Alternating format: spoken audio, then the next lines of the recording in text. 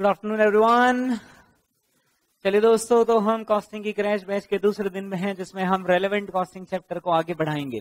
Relevant costing chapter की हमने शुरुआत कर दी थी, क्या हमने इसकी एप्लीकेबिलिटी के बारे में जाना था कि ये दो परिस्थितियों में हमारे काम में आता है?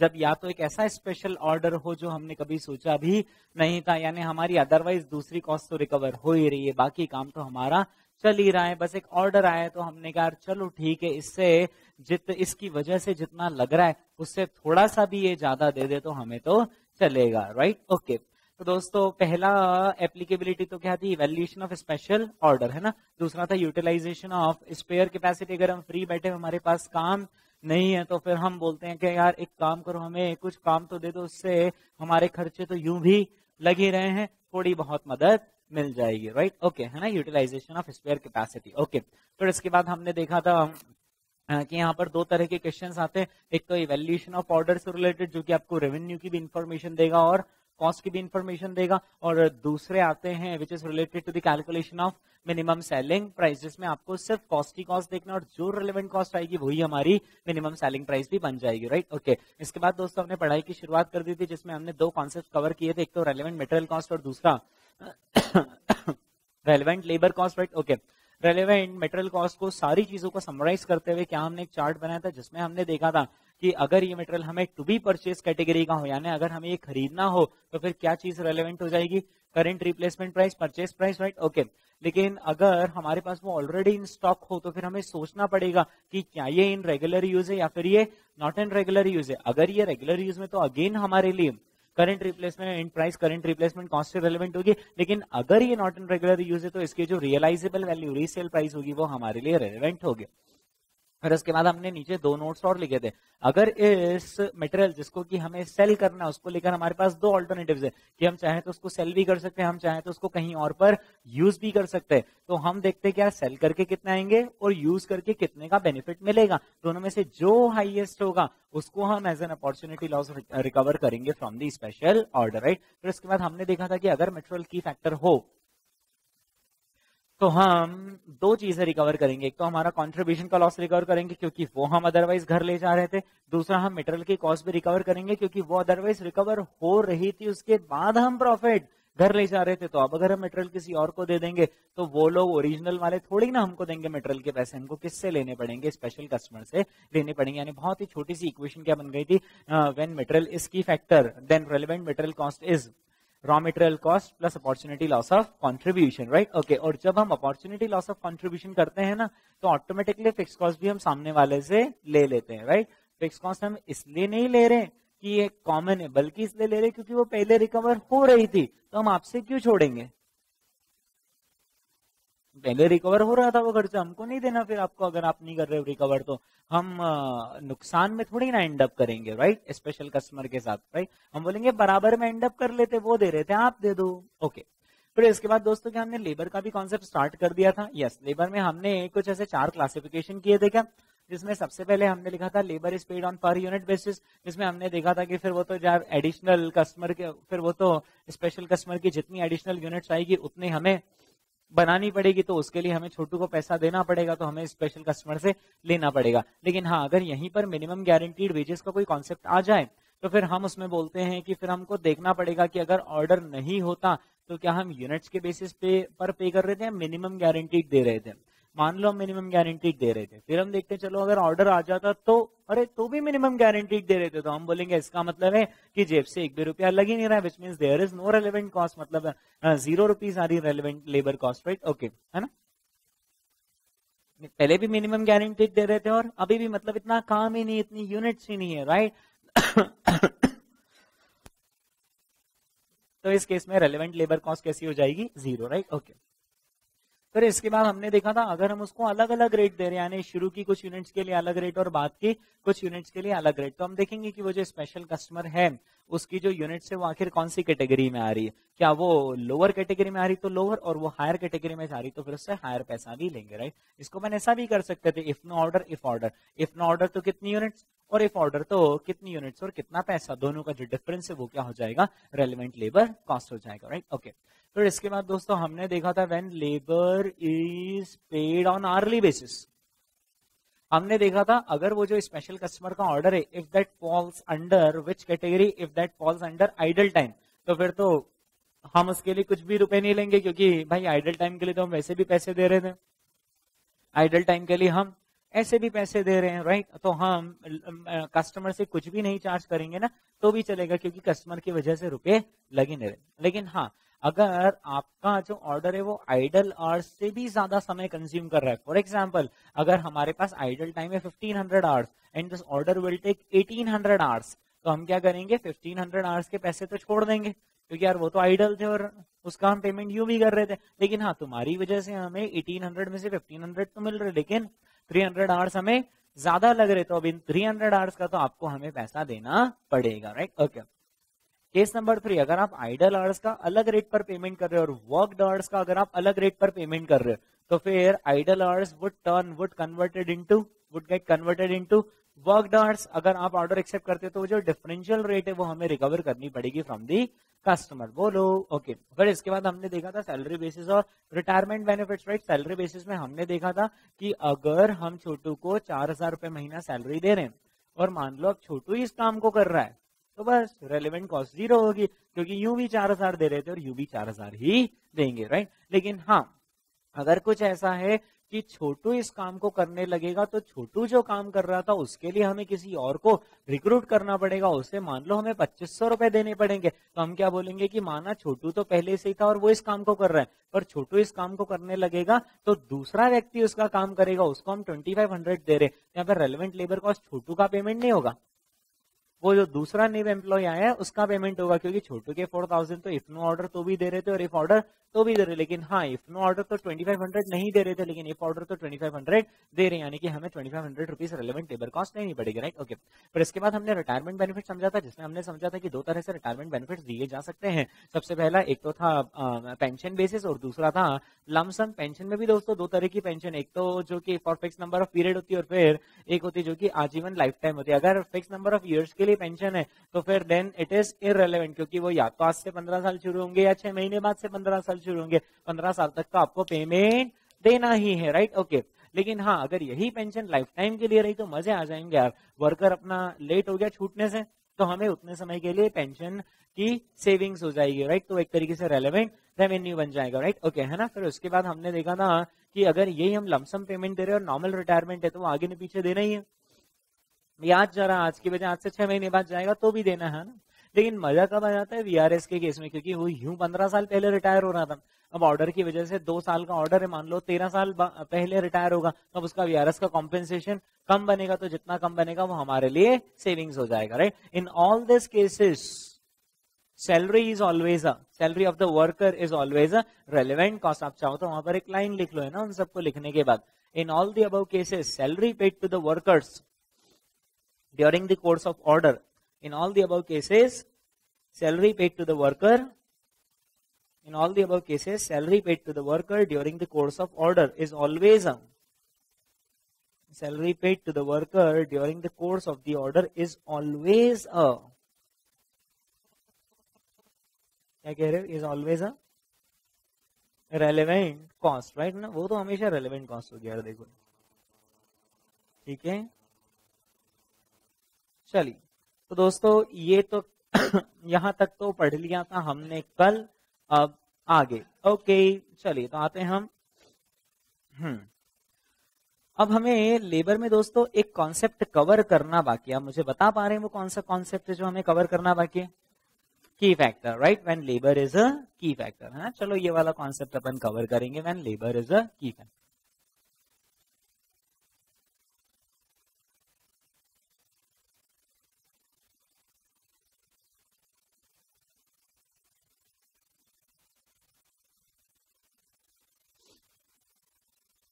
and labour is a key factor है ना? ओके चलिए। की फैक्टर का मतलब मुझे आपको बताने की ज़रूरत नहीं। की फैक्टर यानी वह फैक्टर ऑफ़ प्रोडक्शन जिसकी की डिमांड ज़्यादा है और अवेलेबिलिटी या फिर सप्लाई कम है राइट ये तो मतलब अपन आईपीसीसी से जानते हैं राइट ओके चलिए। तो अब मैं यहाँ पर आपको एक एग्ज़ाम्पल दे रहा हूँ और उस एग्ज़ाम्पल की मदद से हम समझेंगे कि आखिर अगर लेबर की फैक्टर होगा तो फिर किस तरीके से हम अमाउंट रिकवर करेंगे। हाँ दोस्तों तो एक था लकड़हारा राइट ये क्या करता था? ये जंगल जाता था और वहाँ से ये लकड़ियाँ काटकर लाता था। लकड़ियों से ये सुंदर सुंदर फर्नीचर बनाता था। और इस फर्नीचर को वो गाँव वालों को बेचकर अपने परिवार का भरण पोषण करता था राइट है ना? ओके इसका फर्नीचर मार्केट में लाखों में बिकता है मतलब खूब इसका फर्नीचर, है ना? और उसकी खासियत ये है कि इसके पास एक ट्रेंड वर्कर है। नाम है उसका छोटू है ना? ओके ये जो ट्रेंड वर्कर है ना इतना शानदार फर्नीचर बनाता है मतलब आप देखो तो ऐसी फिनिशिंग दिखती है और जिसकी की ही वो लकड़हारा कीमत लेता है ओके ये जो चेयर है इसका हिसाब किताब कुछ ऐसा है। ये वाला एग्ज़ाम्पल दोस्तों हम नोट भी कर लेंगे। आ, हाँ जी तो ये जो चेयर है ये एक चेयर एक फर्नीचर एक चेयर लेड से ये लोग बेचते हैं फिफ्टीन हंड्रेड में है ना? ये मैं यहाँ पर चेयर का हिसाब किताब लिख रहा हूँ राइट जो अभी इनका एग्जिस्टिंग बिज़नेस है ना, वो ऐसा है कि ये लोग चेयर बेचते हैं। कितने में? पंद्रह सौ में, है ना? ओके चेयर बनाने के लिए इन्हें कुछ वेरिएबल कॉस्ट लगती है। इन्हें लेटर से दो तरह की वेरिएबल कॉस्ट लगती है, एक तो मटेरियल और दूसरा लेबर है लेटर से इन्हें मटेरियल लगता है फाइव हंड्रेड का, और लेबर यानी कि छोटू को ये लोग पेमेंट करते हैं हंड्रेड रुपीज़ पर आवर और कितने आवर्स लगते हैं छोटू को? लेटर से टू आवर्स लगते हैं। एक तरीके से लेबर की कॉस्ट कितनी हो गई है? टू हंड्रेड, है ना? ओके। तो अब हम बोल सकते हैं कि यहाँ पर हमारा कॉन्ट्रीब्यूशन पर यूनिट कितना है? 800 for the sake of simplicity हमने यहाँ पर वेरिएबल ओवरहेड्स को गायब कर दिया राइट ओके तो लेटेस्ट से हमारा कॉन्ट्रीब्यूशन पर यूनिट है 800 राइट ओके, है ना? ये जो चेयर है, इसकी खूब डिमांड रहती है मार्केट में। यानी इस चेयर की डिमांड रहती है 3000 यूनिट्स इस चेयर की डिमांड रहती है 3000 यूनिट्स लगभग 3000 यूनिट्स हम आराम से बेच देते लेकिन अफसोस की बात पता है क्या? कि ये जो छोटू लोग हैं ना अपने पास, इनके सिर्फ़ फोर्टी फाइव हंड्रेड आवर्स ही अवेलेबल है। आवर्स अवेलेबल मैं सिर्फ़ क्यों बोल रहा हूँ, आप समझ रहे हो क्या? क्योंकि अगर हमें थ्री थाउज़ेंड यूनिट्स की डिमांड फुलफिल करनी है तो फिर टू आवर्स के हिसाब से देखा जाए तो हमें सिक्स थाउज़ेंड आवर्स चाहिए, लेकिन है ही सिर्फ़ कितने? हमारे पास है ही सिर्फ़ कितने? फोर्टी फाइव हंड्रेड आवर्स ही अवेलेबल यानी ये बात तो कह रहे हैं कि हम गाँव वालों की सारी डिमांड पूरी नहीं कर पाएँगे राइट ओके ऐसा सब कुछ था ही था। मतलब ऐसा तो चल ही रहा था, अपन कॉन्स्टेंट में तो थे ही थे, है ना? कॉन्स्टेंट में ज़िंदगी जी रहे थे। तभी दोस्तों हमारी ज़िंदगी में आना हुआ। एक स्पेशल कस्टमर का राइट ओके कल वाला ही कैरेक्टर ले लें। ओके तो दोस्तों, ये जो स्पेशल कस्टमर है, इसने हमें अप्रोच किया। आवाज़ लगाई। हे लकड़ा क्या तुम मेरे लिए सोफाज बना सकते और कितने सोफास में? टेन सोफाज का हमारे पास स्पेशल ऑर्डर आया। लकड़हारा और छोटू, इनको खाना खाने की भी फुर्सत नहीं आने इतने की फैक्टर और ऊपर से और किस, कितना ऑर्डर आ गया? टेन सोफास पर ऑर्डर ऐसा कि हम मना भी नहीं कर सकते। पर हाँ ऐसा भी है कि यार अपना नुकसान करके हाँ नहीं करना राइट ओके यानी कि इन टेन सोफास को ऑर्डर को एग्जीक्यूट करने के लिए लकड़हारे को कहीं ना कहीं अपना एग्जिस्टिंग प्रोडक्शन डिस्टर्ब करना पड़ेगा, क्योंकि वो तो एग्जिस्टिंग प्रोडक्शन में इतना बिज़ी है कि उनके पास ऐसा कोई स्पेयर टाइम भी नहीं है ना? ओके तो हमने कि हर सोफा को लेट से आवर्स लगेंगे फिफ्टीन आवर्स रिक्वायर्ड आवर्स हर सोफा को 15 आवर्स लगेंगे पर सोफा। यानी देखा जाए तो कितने आवर्स का ऑर्डर है? 150 आवर्स का ऑर्डर है है ना? ओके पर हमने बोला कि ये सोफा बनाने के लिए हमारे पास मटेरियल तो है ही नहीं। हम तो यहाँ पर चेयर बनाते हैं। हमारे पास सोफा के लिए तो मटेरियल ही नहीं। तो स्पेशल कस्टमर ने कहा, वैसे भी अपन तो रेलिवेंट लेबर कॉस्ट पड़ रहे हैं, आप तो ये मान के चलो कि मेटेरियल तो मैं ही आपको प्रोवाइड कर दूँगा. ओके तो दोस्तों एक तरीके से यहाँ पर मेटेरियल हमें कौन ही प्रोवाइड कर देगा? मेटेरियल हमें स्पेशल कस्टमर ही प्रोवाइड कर देगा राइट हमें तो सिर्फ़ यहाँ पर क्या कैलकुलेट कर दिखाना है, बताइए। हमें तो सिर्फ़ क्या कैलकुलेट करना है?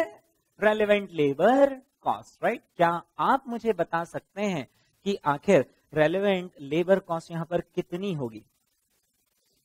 हाँ जी seventy five thousand rupees okay? Relevant labour cost देखो यार, सेवेंटी फाइव थाउज़ेंड रुपीज़ बताया जा रहा है answer seventy five thousand rupees बताया जा रहा है answer relevant labour cost seventy five thousand rupees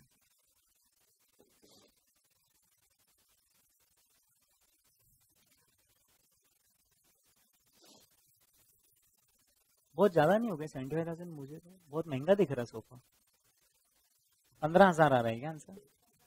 पंद्रह हज़ार पाँच सौ fifteen thousand five hundred fifteen thousand five hundred बताया जा रहा है आंसर, देखो यार। फिफ्टीन थाउज़ेंड फाइव हंड्रेड भी एक आंसर आ रहा मार्केट में। देखो यार, आप जरा डिसाइड करो।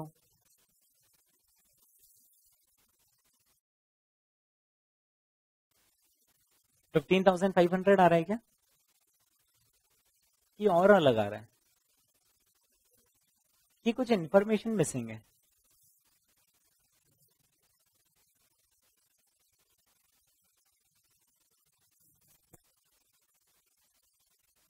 तो देखो, चलो करें अपन सॉल्व है ना? तैतीस हज़ार आएगा शायद से, तेईस हज़ार आएगा शायद से ओके ट्वेंटी थ्री थाउज़ेंड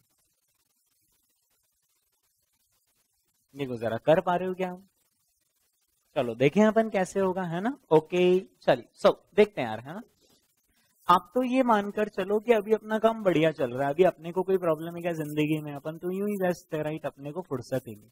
पर स्पेशल कस्टमर का आना हुआ, देखकर हमने कहा चलो, ठीक है, तुम्हारे लिए काम कर देंगे। हाँ कितने सोफाज बनाने टेन सोफाज हर सोफा में कितने आवर्स लगेंगे? फिफ्टीन यानी देखा जाए तो ये जो छोटू है, इसका ध्यान डाइवर्ट होगा।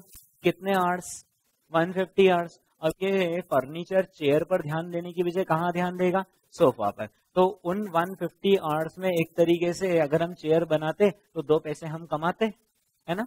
अगर हम वो 150 फिफ्टी आवर्स यहाँ डाइवर्ट करते तो दोस्तों, एक चेयर बनाने में कितने आवर्स लगते हैं? टू आवर्स यानी देखा जाए तो हमें कितने का आ रहा है कॉन्ट्री कितने 75 चेयर्स का लॉस हो जाएगा? एक तरीके से 75 चेयर्स का हमारा प्रोडक्शन कम हो जाएगा और उन 75 चेयर्स पे अपन तो कमाते हैं। कितने कमाते हैं? एट हंड्रेड यानी कितने? सिक्सटी थाउज़ेंड राइट ओके तो फिर ये सिक्सटी थाउज़ेंड रुपीज़ तो हम रिकवर करेंगे किससे? स्पेशल कस्टमर से। हम बोलेंगे ना ये वन फिफ्टी आवर्स अगर यहाँ डाइवर्ट करते तो फिर यहाँ 75 चेयर्स बनती और उन 75 चेयर्स पर हम 800 के हिसाब से कितने कमाते 60,000 कमाते तो हम 60,000 तो लेना चाहेंगे ही किससे? स्पेशल कस्टमर से है ना? अब एक बात समझना, अगर आप सिर्फ़ सिक्सटी थाउज़ेंड ही लोगे और जैसे आप वो सिक्सटी थाउज़ेंड जेब में रखने जाओगे ना, छोटू आकर आपका हाथ पकड़ लेगा। वो बोलेगा एक मिनट, मेरे डेढ़ सौ घंटे का पेमेंट किधर गया? हमने कहा, अरे, वो दे तो दिया। उसने बोला, मैंने तो चेयर ही नहीं बनाई चेयर बनाता तो मुझे मिल जाता, पर अब तो मुझे इस अमाउंट में से चाहिए। तो हम पता है क्या करेंगे? स्पेशल कस्टमर से बोलेंगे, एक मिनट स्पेशल कस्टमर जब हम घर पर साठ हज़ार रुपए लेकर जाते थे ना, तब मैं घर पर कब लेकर जाता था? जब मैं मेटेरियल का भी पैसा दे देता था और छोटू की जेब में भी पैसे रख देता था। लेकिन अब अगर आप सिर्फ़ आठ सौ रुपए पर यूनिट इंटू सेवेंटी फाइव यानी साठ हज़ार मुझे दोगे तो मेरा तो हो जाएगा, लेकिन क्या छोटू का हो जाएगा? नहीं। क्या छोटू को चेयर वाले पैसे दे देंगे? नहीं, छोटू ने तो अब चेयर ही नहीं बनाए। तो छोटू के पैसे भी किससे निकालने पड़ेंगे? स्पेशल कस्टमर्स है। ऐसा इसलिए क्योंकि पहले छोटू का खर्चा निकल रहा था, उसके बाद भी हम ले जा रहे थे। तो आज भी छोटू को तो देना पड़ेगा ना, वो काम तो कर ही रहा है। तो हम क्या बोलेंगे कि फिर छोटू की सैलरी कितनी हंड्रेड रुपीज़ बराबर। And how many hours are devoted to special customer one fifty hours तो वन फिफ्टी आवर्स इंटू कितना? हंड्रेड यानी कितना होता है? फिफ्टीन थाउज़ेंड राइट तो हमारे नाम के साठ हज़ार दे दो, छोटू के नाम के पंद्रह हज़ार दे दो पिछहत्तर हज़ार दे दो। Seventy five thousand is the relevant labour cost is that clear okay है ना? यहाँ मेटेरियल का पैसा क्यों नहीं रिकवर कर रहे हैं? ऐसा इसलिए क्योंकि मेटेरियल हमारा लग नहीं रहा है। इज़ दैट क्लियर ठीक है? बोलो। हम्म यहाँ पर दोस्तों, अगर मैं बहुत ही शॉर्टकट में बोलना चाहूँ तो यहाँ पर when labour is key factor right okay when labour is key factor अगर लेबर की फैक्टर है तो फिर दोस्तों दो चीज़ें रेलेवेंट होंगी। एक तो बताइए क्या? है ना? लेबर की कॉस्ट रेलेवेंट होगी और plus opportunity loss of contribution भी रेलेवेंट होगा, ठीक है? लेबर की कॉस्ट भी रेलिवेंट होगी और opportunity loss of contribution relevant होगा। कब? When labour is a key factor ठीक है? है ना? ओके चलो। हाँ जी। हम यहाँ पर लेबर की 150 फिफ्टी आवर्स की कॉस्ट ऐड कर लेंगे at the rate of rupees hundred per hour है ना? Plus opportunity loss of contribution हम कैसे ऐड कर लेंगे? Eight hundred rupees per chair हमें लॉस हुआ। और मल्टीप्लाइड बाय हमें पता है कितनी चेयर्स का लॉस हो गया? सेवेंटी फाइव चेयर्स का हमें लॉस हो गया। इज़ दैट क्लियर ओके है ना? सेवेंटी फाइव चेयर्स का हमें लॉस हो गया, है ना? ओके ठीक है? क्लियर हो जा रहा है दोस्तों? ओके है ना? हम चाहें, अगर हम चाहें तो हम यहाँ पर ऐसा भी कर सकते थे राइट हम यहाँ पर बजाय कि यहाँ पर पर यूनिट अपॉर्चुनिटी लॉस जोड़ते हैं, हम पता है क्या कर सकते थे? हम यहाँ पर पर आर भी अपॉर्चुनिटी लॉस ऐड कर सकते थे। यानी हम क्या बोलते कि 800 हम 800 रुपीज़ पर यूनिट कमा रहे। कितने आवर्स की मेहनत का नतीजा है? टू आवर्स यानी देखा जाए तो पर आवर कितना? 400 तो हम यहाँ पर opportunity loss at the rate of कितना जोड़ देते? 400 per hour into how many hours 150 hours तो भी आंसर वही आता है। दैट क्लियर तो आप यहाँ पर और करके प्रेजेंटेशन कर लो, है ना? और करके ये तो वही आएगा और वहाँ पर भी आप आर्ट्स वाला प्रेजेंटेशन कर लो, ठीक है? कर लो फटाफट।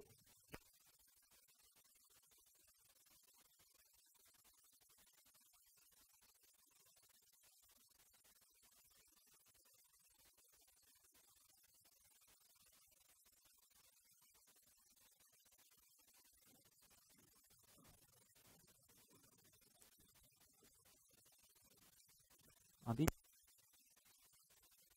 सो so, हाँ जी तो हमने इसको कितना कर दिया है?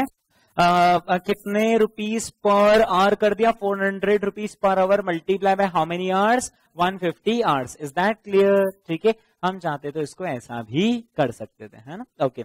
ये दोनों ही प्रेजेंटेशन इक्वली गुड है ठीक है? ओके अब पता है क्या हुआ? कभी कभी देखना क्या करेगा इंस्टीट्यूट बहुत समझदार लोग आ रही हैं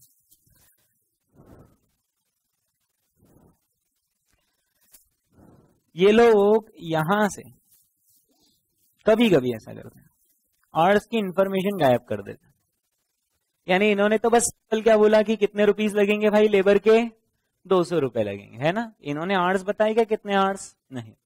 फिर ये लोग क्या करेंगे? ये लोग यहाँ पर बता देंगे कि यहाँ जो हमें काम करना है ना, उसके लिए छोटू को हमें फिफ्टीन थाउज़ेंड रुपीज़ की लेबर कॉस्ट पे करनी पड़ेगी राइट है ना?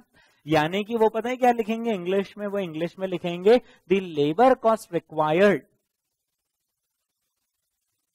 to execute the special order is rupees fifteen thousand मतलब वो सीधे ही पता है आपको वर्ड्स वर्ड्स की तो इंफॉर्मेशन ही नहीं देंगे, बल्कि वो बोल देंगे कि इन दस सोफा को बनाने में लेबर कॉस्ट कितनी लगेगी? फिफ्टीन थाउज़ेंड तो एक बात तो तय रही कि कम से कम फिफ्टीन थाउज़ेंड तो हमें रिकवर करने ही है।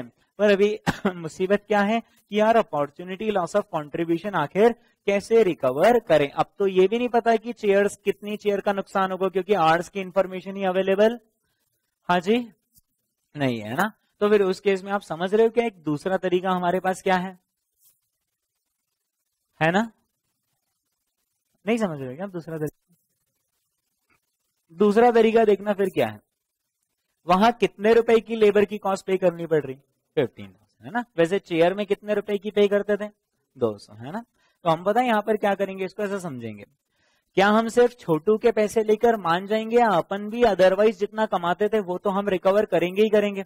वो तो हम रिकवर करेंगे ही करेंगे। इस बार अपना स्टाइल अलग होगा। अपन क्या बोलेंगे, देखो, जब हम छोटू की जेब में दो सौ रुपए रखते थे ना तो छोटू हमारी जेब में कितने रख देता था? आठ सौ। तो अब अगर ये स्पेशल ऑर्डर को एग्जीक्यूट करने में हम छोटू की जेब में कितने रख रहे हैं? पंद्रह हज़ार। पंद्रह हज़ार पंद्रह हज़ार। पंद्रह हज़ार। तो फिर वो भी हमारी जेब में कितने रखेगा? साठ हज़ार। या सरल शब्दों में कहूँ तो हम कंट्रीब्यूशन को per one rupee of labour cost में एक्सप्रेस कर देंगे। That contribution is how much four rupees per one rupee of labour cost, आठ सौ रुपए, दो सौ रुपए के लिए तो चार रुपए होगा एक रुपए के लिए। तो हर एक एक रुपए की लेबर पर, हर एक एक रुपए जब हम छोटू को देते थे, वो हमें कितने देता था? चार रुपए। तो आज जब हम छोटू को पंद्रह हज़ार देंगे तो हमें साठ हज़ार मिलने चाहिए, क्योंकि वो अदरवाइज़ हमें कहीं और से मिल रहे तो एक तीसरा स्टाइल ये भी होता है, जिसमें कि हम कंट्रीब्यूशन पर यूनिट से भी नहीं जाते, हम कंट्रीब्यूशन पर आवर से भी नहीं जाते, हम कैसे जाते? Contribution per one rupee of labour cost is that clear तो एक ये तीसरा प्रेजेंटेशन भी नीचे कर लो, है ना? उसमें आप लिखिए ऑल्टरनेटिवली करके लिखिए। सिंस कॉन्ट्रीब्यूशन इज़ रुपीज़ है ना, अपन मैथ्स में लिखते थे ना, वो सिंस और देर करके वैसा। Since contribution is rupees eight hundred when labor cost is rupees, since contribution is rupees 800 when labor cost is rupees 200 है ना? Since contribution is rupees eight hundred when labour cost is rupees two hundred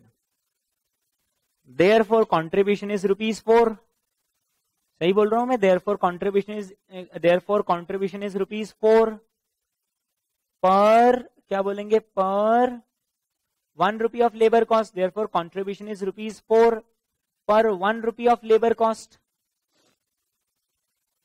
therefore contribution is rupees four per 1 rupee of labour cost है ना? बस तो अपन यहाँ पर वापस से प्रेजेंटेशन कर लेंगे। अब हम बोलेंगे कि भाई, इस ऑर्डर को एग्जीक्यूट करने में कितने रुपए की लेबर कॉस्ट लग रही है? फिफ्टीन थाउज़ेंड तो वो तो हमें चाहिए ही चाहिए। प्लस हर एक रुपए पर हमारी इनकम कितनी होती? है चार रुपए तो फिर पंद्रह हज़ार रुपए पर हमारी इनकम कितनी होनी चाहिए? साठ हज़ार रुपए राइट तो हमें छोटू के नाम पे पंद्रह दे दो प्लस हमारे खुद के कितने? साठ दे दो, कुल हमें वापस से कितने दे दो? पचहत्तर हज़ार दे दो। ठीक एक तरीका दोस्तों, ये भी होता है। कैलकुलेशन करने का, है ना? तो ultimately crux of the matter क्या है? कि अगर लेबर कि अगर लेबर की फैक्टर हो तो हम दो चीज़ें रिकवर करेंगे। लेबर की कॉस्ट और अपॉर्चुनिटी लॉस ऑफ़ कंट्रीब्यूशन क्या क्लियर हो जा रहा है सबको? ओके चलिए दोस्तों, इसके वो कॉन्सेप्ट एग्जाम्पल्स आप करते जा रहे होंगे होपफुली है ना? ठीक है? ओके कॉन्सेप्ट एग्जाम्पल्स आपने किए क्या या अभी आज आज का और मौका दे दें? कर लिए कर लिए। नोट्स आज मिलेंगे। ओके तो अपन एक काम करेंगे, अभी तो अपने सारे आज कॉन्सेप्ट तो कवर हो ही जाएँगे। देखो मेजर जो दो बड़े बड़े कॉन्सेप्ट है ना मटेरियल और लेबर वो तो कवर कर ही लिया आज तीन मुद्दे हमें और डिस्कस करने एक तो relevant variable over relevant fix over और रेलिवेंट मशीन कॉस्ट है ना? तो ये सारे कॉन्सेप्ट कर लेना आप, है ना? और फिर इसके अपन सिर्फ़ आंसर्स कल टैली कर लेंगे। तो जहाँ जहाँ डाउट आ रहे होंगे, वो अपन डिस्कस कर लेंगे। ठीक है? ओके आप बस इसके प्रेजेंटेशन की चिंता जरा भी मत करना। मैं तो इसका पाँच मिनट में तो प्रेजेंटेशन ही बता दूँगा। पाँच मिनट से ज़्यादा इसका प्रेजेंटेशन है ही नहीं, है ना? आपको तो बस करेक्ट अमाउंट कैलकुलेट करना आना चाहिए कैलकुलेटर पर कैसे लिखकर कैसे करना, वो तो मेरी जवाबदारी। ओके चलिए। तो दोस्तों, ये हमने कौन सा कॉन्सेप्ट कवर कर लिया बातों ही बातों में? रेलिवेंट लेबर कॉस्ट ओके अब हम आते हैं हमारे नेक्स्ट कॉन्सेप्ट पर which is about relevant variable overrides. Okay, so next concept is relevant variable overrides.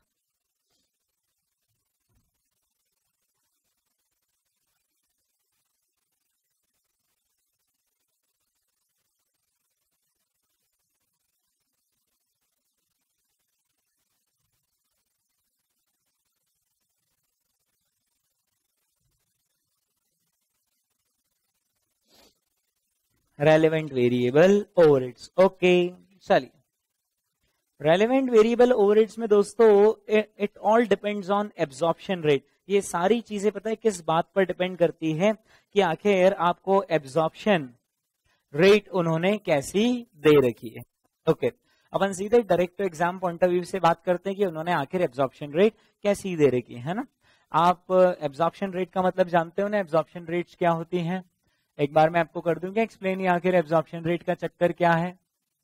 अच्छा ये जो एब्जॉर्प्शन रेट्स होती है है ना? देखो ये क्यों होती है। दो तरह की कॉस्ट होती है। एक होती है डायरेक्ट कॉस्ट और दूसरी होती है इनडायरेक्ट कॉस्ट है ना? अगर कोई कस्टमर हमारे पास आया तो हम डायरेक्ट कॉस्ट तो उससे सीधे सीधे ट्रेस कर पाते अरे भाई, ये तो तुम्हारी वजह से लगी। फॉर एग्ज़ाम्पल लेटेस्ट से कि हमने एक कार गैरेज ओपन किया।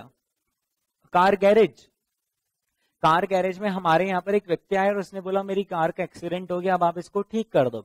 तो उसको जो जो पार्ट्स बदलने होंगे हमें, या फिर उसका अगर इंजन ऑयल चेंज करना होगा, ये सारी चीज़ें तो डायरेक्टली ट्रेसिबल होगी। हम बोलेंगे, ये पार्ट तो तुम्हारे लिए बदले तो इस पार्ट के पैसे कौन दोगे तुम? ये इंजन ऑयल तो तुम्हारी कार में बदला, इसके पैसे कौन दोगे तुम? राइट साथ ही साथ ये जो मैकेनिक है रामलाल, ये लगा हमें पाँच घंटे के लिए तुम्हारी कार की पूरी सर्विसिंग करने के लिए तो इसके पैसे भी कौन दोगे? तुम राइट ये सारी कौन सी कॉस्ट है? जो डायरेक्टली ट्रेसिबल है कस्टमर पे है ना? जैसे अपन भी जब कार सर्विसिंग पर या टू व्हीलर सर्विसिंग पर देने जाते हैं तो ऐसा ही तो होता है पार्ट्स के पैसे तो हमसे ही लेते हैं। वो कौन सी कॉस्ट हुई? डायरेक्ट कॉस्ट राइट ओके पर क्या सिर्फ़ वो पार्ट का पैसा और लेबर का पैसा लेते हैं या उनके दूसरे खर्चे भी लगते हैं? उनके दूसरे खर्चे भी लगते हैं। जैसे फॉर एग्ज़ाम्पल उनके यहाँ पर एक मशीन होगा एक इक्विपमेंट होगा जिससे कि वो कार को ऊपर राइज अप कर देते होंगे उठा लेते होंगे या फिर उनके यहाँ पर अकाउंटेंट होगा उनकी इस बिल्डिंग का रेंट होगा और वो उस डायरेक्ट लेबर को सपोर्ट करने के लिए इनडायरेक्ट लेबर्स होंगे। इन सब का भी पैसा कहीं ना कहीं बिजनेसमैन रिकवर करता है ना? यस yes, रिकवर करता है। क्या ऐसा होगा? कि सारा का सारा बिल्डिंग का रेंट एक ही बंदे से कवर कर लेंगे कि देखो अब तुम्हारी कार है इस बिल्डिंग में तो इस बिल्डिंग का सारा रेंट अब तुमको देना पड़ेगा। मान लो कि अपना पच्चीस हज़ार रुपए महीने का वो पूरा सेटअप है और एक कार आई सर्विसिंग पे तो क्या हम उसी से ही सारे ले लेंगे? नहीं। हम पता है क्या करेंगे? हम इस पच्चीस हज़ार रुपए के रेंट को सब पर डिवाइड करेंगे कि भाई हर कोई फेयर शेयर आपको हर किसी को फेयर शेयर देना पड़ेगा, क्योंकि आप नहीं दोगे तो मेरा खर्चा निकलेगा आखिर कहाँ से राइट ओके है ना? एक बात बताओ ये जो डिसाइड होता होगा कि यार कितना लेना है, ये साल की शुरुआत में ही डिसाइड होता है या एंड में? शुरुआत में तो आपको शुरुआत में ही डिसाइड करना पड़ेगा। और आपने, भाई फॉर एग्ज़ाम्पल आपके यहाँ, आपका पच्चीस हज़ार रुपए का रेंट है, और आपके यहाँ पर एक कार वाला आया, और आपने उस कार के लिए एक पार्ट बदला, आपने बोला इसके लिए दो हज़ार रुपए लेबर लगा दो घंटे, उसके लिए सौ रुपए पर आवर के हिसाब से दो सौ रुपए। और फिर फिर आपने उसको कहा कि अब ये बिल्डिंग का भी एक फेयर शेयर आपको देना पड़ेगा। उसने बोला, ठीक है, बताइए भाई साहब फेयर शेयर कितना? तो हमने कहा फेयर शेयर तो देखना पड़ेगा। पच्चीस हज़ार रुपए का रेंट लगता है इस पूरे सेटअप का। क्या पता कितनी कार्ड्स आएँगी? तो उन भाई साहब ने कहा, एक काम करो भाई साहब, आप देख लेना इस महीने में कितनी कार्ड्स आएँगी। फिर आप पच्चीस हज़ार रुपए को उतनी कार्ड से डिवाइड कर देना और मुझे रिकवरी बिल भेज देना। मैं देने आ जाऊँगा। मैं देने आ जाऊँगा। आ जाऊँगा। क्या ऐसे आएगा क्या कोई कस्टमर है ना? तो आपको तो पैसा कस्टमर से कभी लेना पड़ेगा, उसी वक्त लेना पड़े, है ना? तो पर हमको तो सर पता ही नहीं कि कितने लोग आएँगे। हाँ तो दोस्तों, ये सारा काम किस पर होता है? एस्टिमेटेड बेसिस पर होता है। यानी हम एस्टिमेट लगाते हैं कि और हमारे खर्चे कितने होंगे?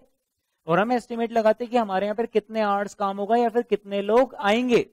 और हम उस खर्चे को डिवाइड करते हैं, यार, कितने लोग आएँगे या फिर कितने आवर्स काम होगा। तो हमें एक रेट मिल जाती है which is called as absorption rate per. Hour कि अब जैसे जैसे लोग आते जाएँगे, देखो हमारा खर्चा तो होता ही जाएगा। जैसे जैसे लोग आते जाएँगे, हम इतना खर्चा एब्जॉर्ब करते जाएँगे रिकवर करते चले जाएँगे। इसको एब्जॉर्प्शन रेट भी बोल सकते हैं, इसको रिकवरी रेट भी बोल सकते हैं, इसको एप्लीकेशन रेट भी बोल सकते हैं। इज़ दैट क्लियर है ना? Okay okay. ये जो रेट होती है, कैसे डिसाइड होती है? साल की शुरुआत में and based on budgeted data decide हो जाती है राइट ओके और ये जो रेट डिसाइड होती है, सिर्फ़ इनडायरेक्ट खर्चों के लिए ही होती है, क्योंकि डायरेक्ट खर्चे तो सीधे सीधे ही ट्रेस हो जाते हैं ना? अब ये इनडायरेक्ट खर्चे भी दो तरह के होते हैं, एक होते हैं और दूसरे होते हैं फिक्स जैसे फॉर एग्ज़ाम्पल अगर इलेक्ट्रिसिटी की बात करें तो electricity is a variable expense लेकिन अगर रेंट है तो rent is a fix expense right तो हम क्या करते हैं? इनको दो टुकड़ों में क्लासिफाई करते हैं वेरिएबल और फिक्स ऐसा इसलिए अगर कोई आए या नहीं आए फिक्स खर्चा तो लगता ही लगता है, लेकिन अगर कोई आए ही नहीं तो हमारे वेरिएबल खर्चे ज़रूर बच जाते हैं राइट जैसे फॉर एग्जांपल कोई कार सर्विसिंग पर ही नहीं आए तो हमारा मशीन का पावर एक्सेट्रा कोई कंजम्पशन ही नहीं होगा मशीन का जो लुब्रिकेंट ऑयल होगा, ये सारा हमें नहीं लगेगा राइट ओके तो दोस्तों इनडायरेक्ट कॉस्ट का ही दूसरा नाम क्या है? ओवरेज और ये इनडायरेक्ट कॉस्ट दो तरह की होती है वेरिएबल और फिक्स इसलिए दो तरह के ओवरेज वेरिएबल ओवरेज और फिक्स ओवरेज और इनको हम रिकवर कैसे करते हैं? With the help of absorption rate है ना?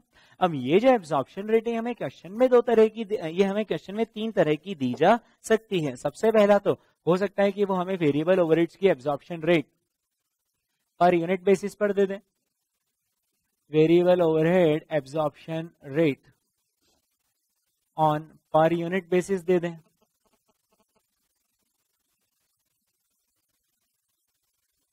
हो सकता है कि वो हमें वेरिएबल ओवरहेड की absorption rate per hour basis पर दे दें। और हो सकता है कि वो हमें वेरिएबल ओवरहेड्स का absorption as a percentage of direct labour cost sales कभी भी नहीं आएगा। As a percentage of direct labour cost करने का बोल रहे हैं ना? एज अ परसेंटेज ऑफ़ कैसा बोल रहे हैं as a percentage of direct labour cost right okay चलिए हाँ। As a percentage of direct labour cost okay चलिए, ठीक है?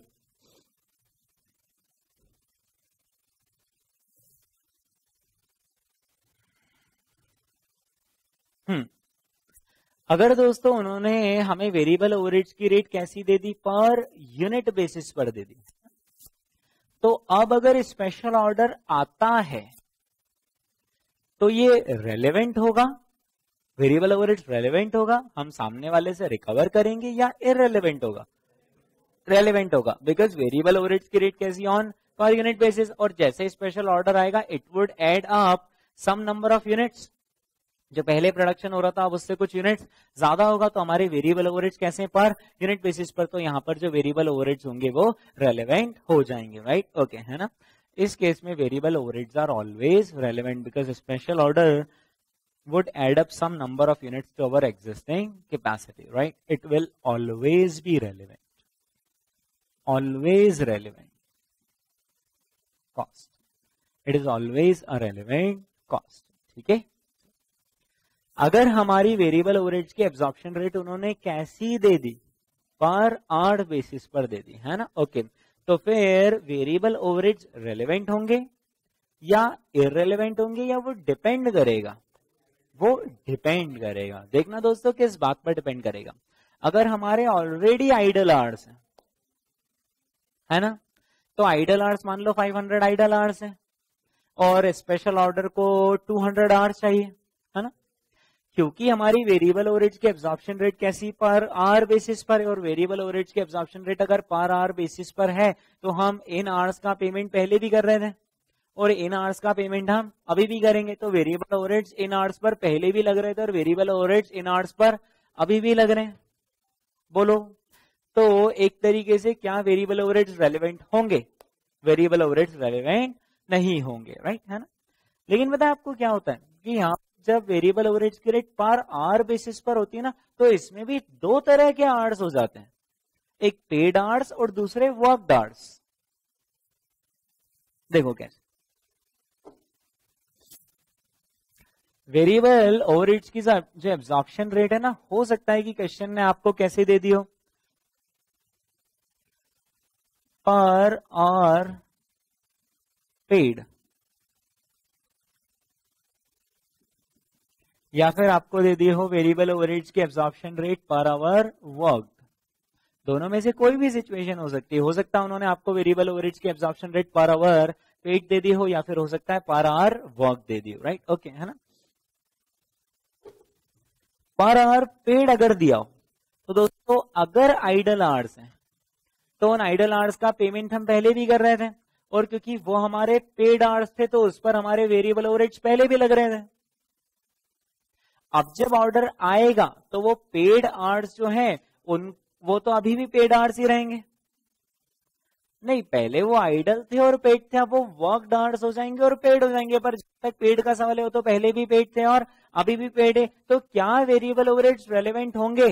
नहीं, वो इरेलीवेंट होंगे, क्योंकि पेमेंट हम वर्कर्स को आइडल टाइम के पहले भी कर रहे थे, अभी भी करेंगे। पर हमारी वेरिएबल ओवरेज की रेट कैसी? पर आवर पेड है तो वो पहले भी लग रही थी और अभी भी लगेगी। तो सच क्या कोई डिफरेंस है? नहीं। तो क्या वो रेलेवेंट है? नहीं।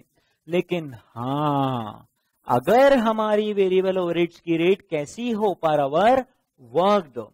तो पहले वर्कर आराम से बैठा हुआ था, लेटा हुआ था राइट क्या वो वर्किंग कंडीशन में था? नहीं था। पर फिर भी हम उसको पेमेंट कर रहे थे? हाँ कर रहे थे। माना हम लेबर को उसकी लेबर कॉस्ट पे कर रहे थे, पर क्या हमारे वेरिएबल ओवरेज लग रहे थे? हमारे वेरिएबल ओवरेज नहीं लग रहे थे। हमारे वेरिएबल ओवरेज कब लगते? जब हम काम करते हैं। वो तो पहले काम ही नहीं कर रहा था तो वेरिएबल ओवरेज ही नहीं लग रहे थे। अब अगर स्पेशल ऑर्डर आ जाएगा तो वो आइडल यानी लेटा हुआ वर्कर अब बैठा हो जाएगा और वो काम करना शुरू करेगा। अच्छा उसको पेमेंट तो हम लेबर की कॉस्ट तो पहले भी पे कर रहे थे और अभी भी पे कर रहे थे तो लेबर की कॉस्ट तो रेलिवेंट नहीं होगी। लेकिन हाँ अब क्योंकि वो काम करना शुरू हो गया है तो अब हम उसे वेरी तो अब उसका वेरिएबल ओवरेज का मीटर भी शुरू हो गया। तो वेरिएबल ओवरेज इस केस में क्या हो जाएँगे? रेलिवेंट हो जाएँगे। इज़ दैट क्लियर बोलो। ओके है ना? हम्म। एक मिनट यार। मतलब ये तो समझ में आ गया, है ना? तो दोस्तों, अगर पर आवर पेड रहा वेरिएबल ओवरेज का अगर एब्जॉर्प्शन रेट कैसा था? पर आवर पेड था। तो फिर वेरिएबल ओवरेज रेलेवेंट होंगे या इरेलीवेंट होंगे? रेलेवेंट होंगे या इरेलीवेंट होंगे? हाँ इरेलीवेंट होंगे। To the extent of idle hours या ऐसे बस इरेलीवेंट ही होंगे। To the extent of idle hours यानी जितने आइडल आर्स है ना उतने आर्ट्स के लिए वेरिएबल ओवरेज इरेलीवेंट होंगे। लेकिन हाँ अगर मान लो आइडल आर्ट्स 500 है, और ऑर्डर 600 आर्ट्स का है तो अब हमें एक्स्ट्रा 100 आर्ट्स का पेमेंट करना पड़ेगा तो फिर उन एक्स्ट्रा 100 पेड आर्ट्स पर हमारे वेरिएबल ओवरेज भी एक्स्ट्रा लगेंगे राइट यानी यहाँ पर मुझे करेक्ट लैंग्वेज क्या लिखनी चाहिए? Irrelevant cost to the extent of idle hours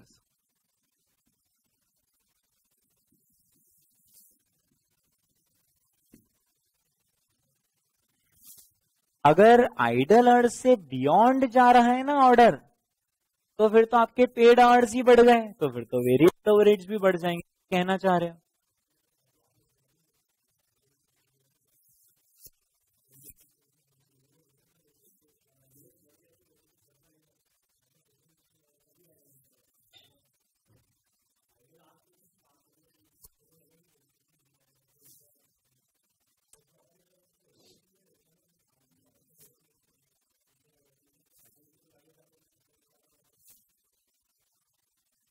एक मिनट अभी डिस्कस कर लेते हैं। आ, मैं लिख दू पहले मेन कंसेप्ट है मैं वैसे जो तुम्हारे सारे डाउट्स है वो मैं एड्रेस करता ही हूँ इसको करने के बाद है ना? तो जो भी डाउट्स आ रहे हैं अभी सब हो जाएँगे क्लियर है मतलब मैं ये तो लिखवा रहा हूँ सिर्फ़ pure exam point of view से है ना? तो फिर अभी अपन प्रैक्टिकल लाइफ वाला भी डिस्कस करेंगे तो जो तुम्हारे डाउट्स आ रहे हो प्रैक्टिकल वाले हैं ना? वो अभी अपन समझा ही देंगे। हाँ बोल दें।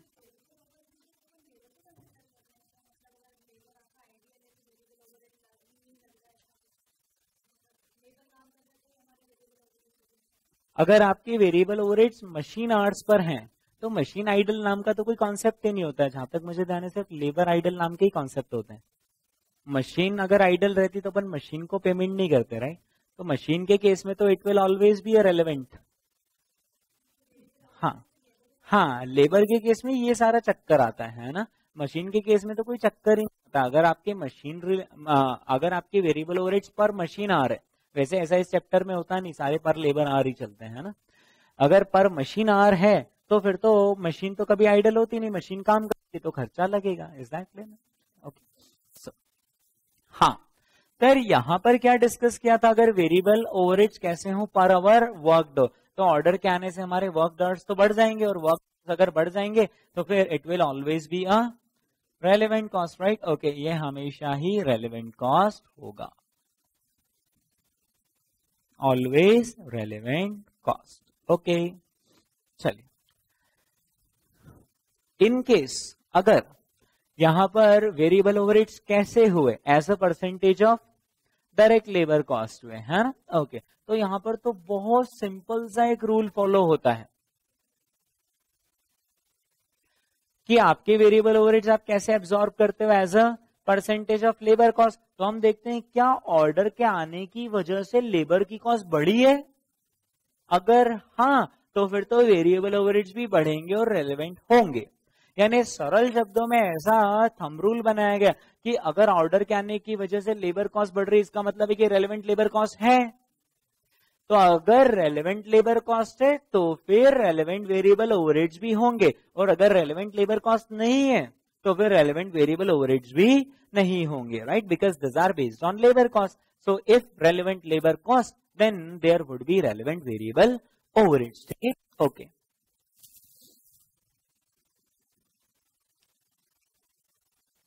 तो यहाँ पर relevant variable overheads would be simple as a percentage of relevant labour cost if RLC is there then RVOH will also be there. अगर रेलिवेंट लेबर कॉस्ट है तो फिर रेलिवेंट वेरिएबल ओवरेज भी होंगे और नहीं है तो नहीं होंगे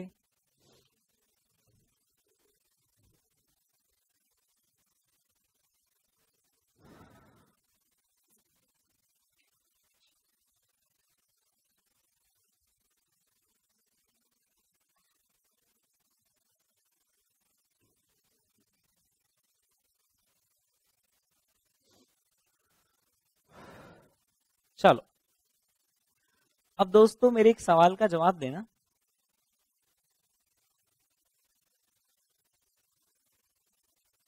कि आपको ये समझ में आ गया कि कब वेरिएबल ओवरहेड्स रेलेवेंट होंगे, कब इरेलीवेंट होंगे? जब या तो हमें वेरिएबल ओवरहेड्स की रेट पर यूनिट दे रखी हो, या फिर पर आर दे रखी हो, या फिर ऐसा as a percentage of labour cost दे रखी हो, ऐसा कुछ दे रखा हो, है ना? ओके यानी कि फॉर एग्ज़ाम्पल आप ऐसी कल्पना करो कि आप एक कंपनी में गए मान लो आपकी जॉब लग गई पीथमपुर की किसी कंपनी में है ना? और पीथमपुर की इस कंपनी में आ, आपने बस जिस दिन ज्वाइन किया आ, उस दिन आपको एक स्पेशल ऑर्डर का इवेल्यूशन करने को आया। यानी आपको कंपनी ने बोला कि मिस्टर सी ये एक एक्सपोर्ट ऑर्डर है और आप इसका इवेल्यूशन कर दो। तो एक्सपोर्ट ऑर्डर का आप इवेल्यूशन कर रहे थे तो आपने देखा इस एक्सपोर्ट ऑर्डर को एग्जीक्यूट करने में इतना मटेरियल लगेगा, इस एक्सपोर्ट ऑर्डर को एग्जीक्यूट करने में इतना लेबर लगेगा, सब कर लिया है ना? अब बारी आई कि यार अब इस एक्सपोर्ट ऑर्डर में हमें वेरिएबल ओवरहेड्स का भी कुछ ना कुछ करना पड़ेगा, है ना? ओके तो आपने कहा कि अगर आप गए मैनेजमेंट के पास, आपने कहा कि सर ये देखो हमने रेलेवेंट मटेरियल कॉस्ट भी निकाल लिया और रेलेवेंट लेबर कॉस्ट भी निकाल लिया ऑर्डर के लिए, बस अब एक रेलेवेंट वेरिएबल ओवरहेड्स और जोड़ना रह गया हमें। और उसके लिए तो मैनेजमेंट ने कहा, बस जोड़ दो रेलिवेंट वेरिएबल ओवरेज कर दो मिस्टर सी कंप्लीट हमने कहा, वो हम देखना चाह रहे हैं कि हमारी कंपनी में जो वेरिएबल ओवरेज की एब्जॉर्प्शन रेट है, वो कैसी मतलब क्या वो पर यूनिट है? तो उन्होंने कहा, इससे क्या फ़र्क पड़ेगा? हमने कहा, अरे सिंपल है। अगर वो पर यूनिट होगी तो ऑर्डर के आने से ज़्यादा यूनिट्स होगी। तो हमें रेलिवेंट लेना पड़ेगा। और अगर वो पर आवर बेसिस होगी तो हमें देखना पड़ेगा कि हमारी कंपनी में वो पर लेबर आवर पेड है या फिर वो पर लेबर आवर वर्कड है। तो उससे वो हमें अकॉर्डिंगली ट्रीट करना पड़ेगा और अगर वो as a percentage of labour cost हुआ तो हमें वैसा करना पड़ेगा। तो उन्होंने कहा, ऐसा क्यों बोल रहे हो, मिस्टर सी? हमने कहा, वैसे ही होता है, अगर क्वेश्चन में ऐसा दिया रहता तो ऐसा करते हैं, वैसा तो वैसा करते हैं। तो उन्होंने बोला कि, mister see you are a chartered accountant you decide कि हमारी कंपनी में पर यूनिट चलेगी या पर आवर चलेगी as a percentage of labour labour cost चलेगी? और अगर पर आवर चलेगी तो पर आवर पेड चलेगी या वर्क चलेगी? हम कौन होता डिसाइड ये तो हमेशा क्वेश्चन देता है। तो आप पता है समझना क्या? कि प्रैक्टिकल लाइफ में आखिर कब मतलब प्रैक्टिकल लाइफ में तो आप ही हो ना, सब करता धरता तो प्रैक्टिकल लाइफ में आखिर कब हमारी वेरिएबल ओवरेज की रेट पर यूनिट चलती होगी? कब पर आवर चलती होगी और पर आवर में भी कब पर आवर पेड चलती होगी, कब पर आवर वर्क चलती होगी और कब a percentage of direct labour cost चलती होगी, है?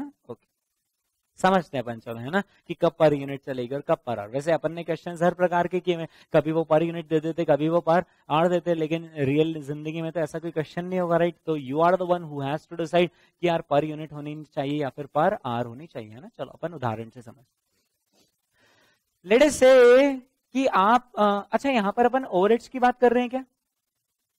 है ना? और ओवरहेड्स यानी indirect cost do you agree हाँ। और इनडायरेक्ट कॉस्ट भी दोस्तों तीन तरह की होती है। इनडायरेक्ट मटेरियल होता है इनडायरेक्ट लेबर होता है और इनडायरेक्ट एक्सपेंसेस होते हैं। जैसे फॉर एग्ज़ाम्पल अगर हम चेयर बना रहे हैं तो चेयर बनाते वक्त अगर आपको फेविकॉल लग रहा है, जैसे चेयर बनाते वक्त अगर आपको लकड़ी लग रही वुड लग रही तो ये तो डायरेक्ट मटेरियल है। लेकिन फेविकॉल जो लग रहा है it is an indirect material do you agree किया समझाऊं कि इनडायरेक्ट मटेरियल क्यों है? ये तो आपको पता है। ये तो पता है यार, ऐसा क्या कर रहे हो, है? ओके फिर डायरेक्ट लेबर अब उस चेयर को बनाने में जो कारपेंटर लग रहा है वो डायरेक्ट लेबर है, लेकिन कारपेंटर को जो छोटू सपोर्ट कर रहा है वो इनडायरेक्ट लेबर है है ना? वैसे कुछ इनडायरेक्ट एक्सपेंसेस होते हैं, जैसे पावर का खर्चा is not a material power का खर्चा is not a labour it is an expense या रेंट का खर्चा is not a material rent का खर्चा is not a labour it is an indirect expense right okay तो तीन तरह के ओवरहेड्स होते कौन कौन से तीन तरह के? इनडायरेक्ट मटेरियल इनडायरेक्ट लेबर और इनडायरेक्ट एक्सपेंसेस राइट ओके देखना मैं बता रहा हूँ, किस कंपनी में आप पर यूनिट पर चलोगे? अगर आपकी कंपनी के ओवरहेड्स ओवरहेड यानी इनडायरेक्ट मटेरियल इनडायरेक्ट लेबर और इनडायरेक्ट एक्सपेंसेस अगर आपकी कंपनी के ओवरहेड्स में मेजर प्रोपोर्शन इनडायरेक्ट मटेरियल का होगा यानी 70 80 परसेंट ऑफ़ दी ओवरिट्स क्या है? इनडायरेक्ट मटेरियल ही है। बस 10-20 परसेंट ही लेबर है और 10-20 परसेंट ही इनडायरेक्ट एक्सपेंस है। तो दोस्तों, जो इनडायरेक्ट मटेरियल होता है, वो किस बात पर डिपेंड करता है कि आपने कितनी यूनिट्स बनाई या कितने समय में बनाई?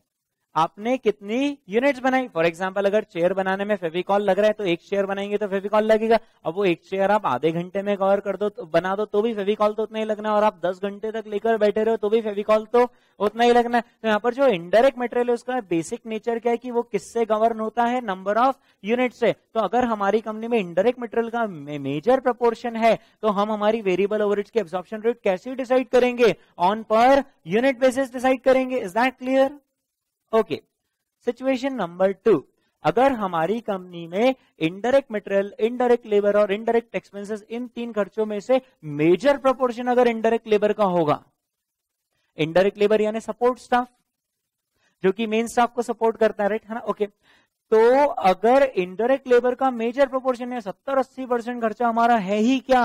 इनडायरेक्ट लेबर तो इनडायरेक्ट लेबर जो है वो नंबर ऑफ़ यूनिट से गवर्न होता है या number of hours taken to produce those units number of hours taken to produce those units तो अगर नंबर ऑफ़ आवर्स ज़्यादा लग जाएँगे तो फिर हमारे इंडायरेक्ट लेबर के भी आवर्स ज़्यादा लगेंगे तो खर्चे भी ज़्यादा होंगे। यानी अब हमारा जो वेरिएबल ओवरहेड्स है, वो यूनिट्स बेसिस पर नहीं चल रहा है, वो किस पर चल रहा है? आवर्स बेसिस पर। तो फिर ऐसी कंपनी में हम क्या करेंगे? वेरिएबल ओवरहेड्स की रेट कैसे डिसाइड करेंगे? On per hour basis is that clear okay और वो जो है ना as a percentage of direct labour cost वो कुछ भी नहीं है।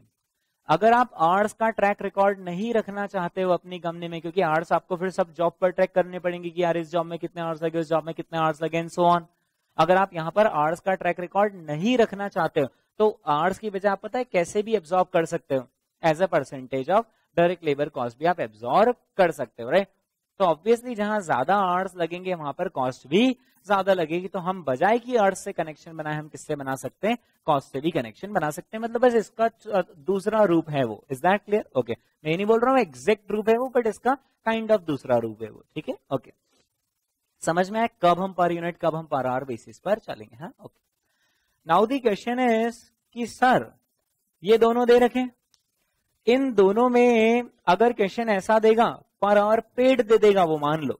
तो फिर हम तो पेमेंट आइडल आर्स का पहले भी कर रहे थे और उस पर वेरिएबल ओवरेज भी लग रहे थे और अभी भी करेंगे उस पर ओवरेज अभी भी लगेंगे। तो as as there is no change in the variable overheads there for variable overheads की कॉस्ट बिकम्स इरेलीवेंट लेकिन हाँ क्योंकि हमारे वेरिएबल ओवरेज कैसे पर आवर वर्कड है तो पहले आइडल थे तो वर्क नहीं थे, यानी ओवरेज नहीं लग रहे थे, लेकिन now we are in working condition तो ओवरेज लगेंगे तो बिकम्स रेलिवेंट है ना? ओके क्वेश्चन इज़ मान लो कि क्वेश्चन आपको बस बोल दे रुपीज़ फाइव पर आवर मान लो क्वेश्चन ने आपको वेरिएबल ओवरेज की एब्जॉर्प्शन रेट कैसी दे दी? रुपीज़ फाइव पर आवर दे दी. और आपको क्वेश्चन ने ये बोला ही नहीं कि वो पर आवर पेड है या फिर वो पर आवर वर्क है तो आप जानते हैं डिफ़ॉल्ट असम्पशन क्या है? डिफ़ॉल्ट असम्पशन है per hour work right so this is our default assumption if question is silent this is our default assumption if question is silent if question is silent. ये होता है दोस्तों हमारा default अजम्पन अगर question silent हो तो अगर क्वेश्चन साइलेंट हो तो यह है हमारा डिफ़ॉल्ट अजम्पन ठीक है? बोलो। ओके है ना? अब हम यहाँ पर एक बात समझो मन में एक सवाल आ रहा होगा आपके कि सर इसको क्यों लिया डिफ़ॉल्ट अजम्पन हम तो इसको भी ले सकते थे डिफ़ॉल्ट अजम्पन तो दोस्तों, उसके दो कारण। पहला कारण तो क्योंकि इंस्टीट्यूट इसी को ही लेता है डिफ़ॉल्ट अजम्पन यानी अगर क्वेश्चन साइलेंट हो तो इंस्टीट्यूट किसको लेता है डिफ़ॉल्ट अजम्पन इसको। और अगर वो इसको लेते तो अपने को भी इसको ही लेना है। ओके ठीक है सर, अब इंस्टीट्यूट लेता तो अपने को तो लेना ही है। पर इंस्टीट्यूट इसको क्यों लेता है डिफ़ॉल्ट अजम्पन ऐसा इसलिए क्योंकि प्रैक्टिकल लाइफ में भी ऐसा ही होता है। क्योंकि जो most of the variable overheads होते हैं ना, वो तब नहीं लगते जब वर्कर आ जाता है, तब लगते हैं जब वर्कर काम करना शुरू होता है। जैसे इनडायरेक्ट मेटेरियल बताओ यार। जब वर्कर आ जाएगा आ जाएगा और आइडल बैठा रहेगा तो इनडायरेक्ट मेटेरियल खर्चे होना शुरू हो जाएँगे वो काम करेगा तो? काम करेगा तो। बोलो यानी इनडायरेक्ट मेटेरियल तो पूरा पूरा तभी लगता है जब वर्कर वर्किंग कंडीशन में हो। दूसरा, बहुत सारे ऐसे इनडायरेक्ट एक्सपेंसेस होते हैं, जो कि तभी लगते हैं जब वर्कर काम करे। जैसे फॉर एग्जांपल पावर का एक्सपेंस मशीन का पावर तभी लगेगा जब वर्कर काम करे, या मशीन का रिपेयर मेंटेनेंस का भी खर्चा हमारा तभी बढ़ेगा जब हम काम कर रहे हैं। तो most of the variable overheads practical life में वर्कर के आने से लगते हैं या वर्कर के काम करने से लगते हैं। वर्कर के काम करने से लगते हैं। मैं ये नहीं बोल रहा हूँ, सारे खर्चे मैं बोल रहा हूँ मोस्ट ऑफ़ जैसे फॉर एग्ज़ाम्पल वर्कर आए तो लाइट बिजली पंखा तो चलाएगा, पर लाइट बिजली पंखा का उतना खर्चा नहीं होता जितना मशीन का पावर होता है, जितना इंडक्ट मटेरियल होता है राइट तो मोस्ट ऑफ़ दी खर्चे क्योंकि वर्कर के वर्किंग कंडीशन में आने से लगते हैं, इसलिए डिफ़ॉल्ट है कि अगर कुछ नहीं बोला तो हम ये मानेंगे क्या काम करेंगे तो ही वेरिएबल ओवरहेड्स लगेंगे नहीं तो नहीं लगेंगे। एग्जैक्टली इसलिए इंस्टीट्यूट से डिफ़ॉल्ट अजम्पन लेता है। बातें आ गई मेरी समझ में? हाँ। अब पूछो यार अब क्या क्या डाउट पूछ रहे थे एक एक करके पूछो। हाँ। हाँ? हो जाएगा? ओके, चलो। हाँ बोलो यार।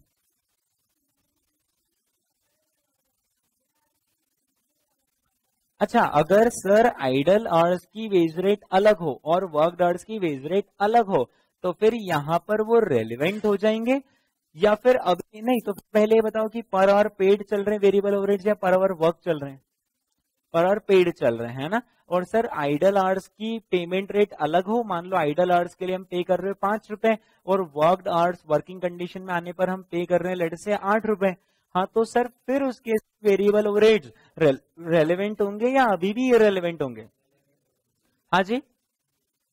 तीन रुपए रेलिवेंट होंगे। ये तीन रुपए जो रेलिवेंट होंगे, आप बोल रहे हो वो वेरिएबल ओवरेज के रेलिवेंट बोल रहे हो या लेबर के रेलिवेंट बोल रहे हो? लेबर के रेलिवेंट होंगे। ये तो अपन पहले ही कवर कर चुके कॉन्सेप्ट असली डाउट ये कि सर इसका वेरिएबल ओवरेज पर क्या इंपैक्ट आएगा? नो इंपैक्ट नहीं, इसलिए नो इम्पैक्ट क्योंकि आपने यहाँ पर वेरिएबल ओवरेज का कनेक्शन उसके पेमेंट उसके आर्स से बनाया है। ना कि आप उसको पर आवर कितना दे रहे हो उससे बनाया है। आप उसको पाँच रुपए पर आवर दे रहे हो या आप उसको सौ रुपए पर आवर दे रहे हो। आपकी वेरिएबल ओवरेज की रेट कैसी? पर आर पेड यानी आपने उसको एक घंटे का पेमेंट दिया, इधर वेरिएबल ओवरेज भी जोड़ लोगे।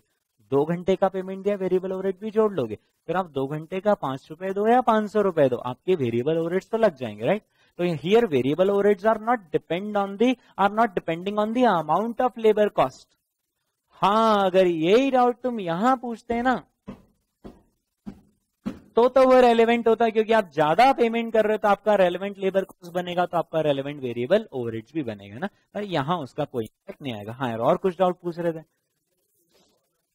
वेरी गुड हाँ इसमें तो ऑटोमेटिकली कवर हो रहा है, क्योंकि वो जब रेलिवेंट लेबर कॉस्ट में आएगा क्योंकि वो जब आप डिफरेंशियल रेट पर पेमेंट करोगे तो रेलिवेंट लेबर कॉस्ट में आएगा तो रेलिवेंट वेरिएबल ओवरेज में। वही मैं बोल रहा हूँ, वहाँ ऑटोमेटिकली कवर हो रहा है। यहाँ पर अलग अलग रेट ऑफ़ पेमेंट का कोई कॉन्सेप्ट ही नहीं है क्योंकि यहाँ पर आप रेट ऑफ़ पेमेंट से कनेक्शन नहीं कर रहे आप उसके आर्स पेड से कनेक्शन कर रहे हो राइट ओके है ना? और कोई सा डाउट हो पूछो यार। क्लियर है? ये डिफ़ॉल्ट अजम्पन होता है, ये भी क्लियर है। ये क्यों डिफ़ॉल्ट असम्पशन होता है, ये भी क्लियर है, क्योंकि प्रैक्टिकल लाइफ में ऐसा ही होता है। इसलिए आईसीआई ऐसा ही करता है और इसलिए अपने को भी ऐसा ही करना है, ठीक है? चलो ओके ये हमने दोस्तों कॉन्सेप्ट देखा किसका? रेलिवेंट वेरिएबल ओवर का, है ना? ओके अब हम आते हैं हमारे नेक्स्ट कॉन्सेप्ट पर which is about relevant fixed over है ना? चलो यार, अगला कॉन्सेप्ट देखते हैं हम रेलिवेंट फिक्स ओवर नोट कर लिया होगा आपने चार्ट है ना?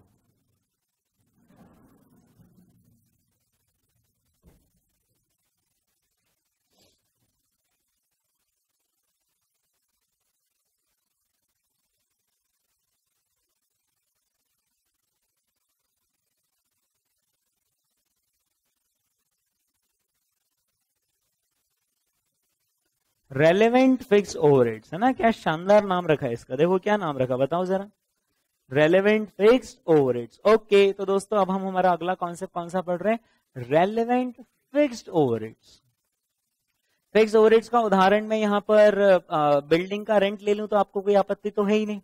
बिल्डिंग का rent is an example of fixed overheads या हम मशीन को अगर लीज रेंटल पर लेकर आए तो मशीन का lease rental is again an example of fixed overheads या हमारा जो सुपरवाइजर है सुपरवाइजर भी एक ओवरहेड ही होता है क्योंकि सुपरवाइजर का खर्चा डायरेक्टली ट्रेसेबल नहीं होता। वो तो काफ़ी सारी चीज़ों को एक साथ सुपरवाइज करता है। तो supervisor is also an overhead and what kind of overhead supervisor is supervisor is a fixed overhead right दो तीन एग्जाम्पल्स मैंने आपके सामने रखे। हाँ समझना हम ये चाह रहे हैं कि फिक्स ओवरहेड्स रेलिवेंट कब होंगे?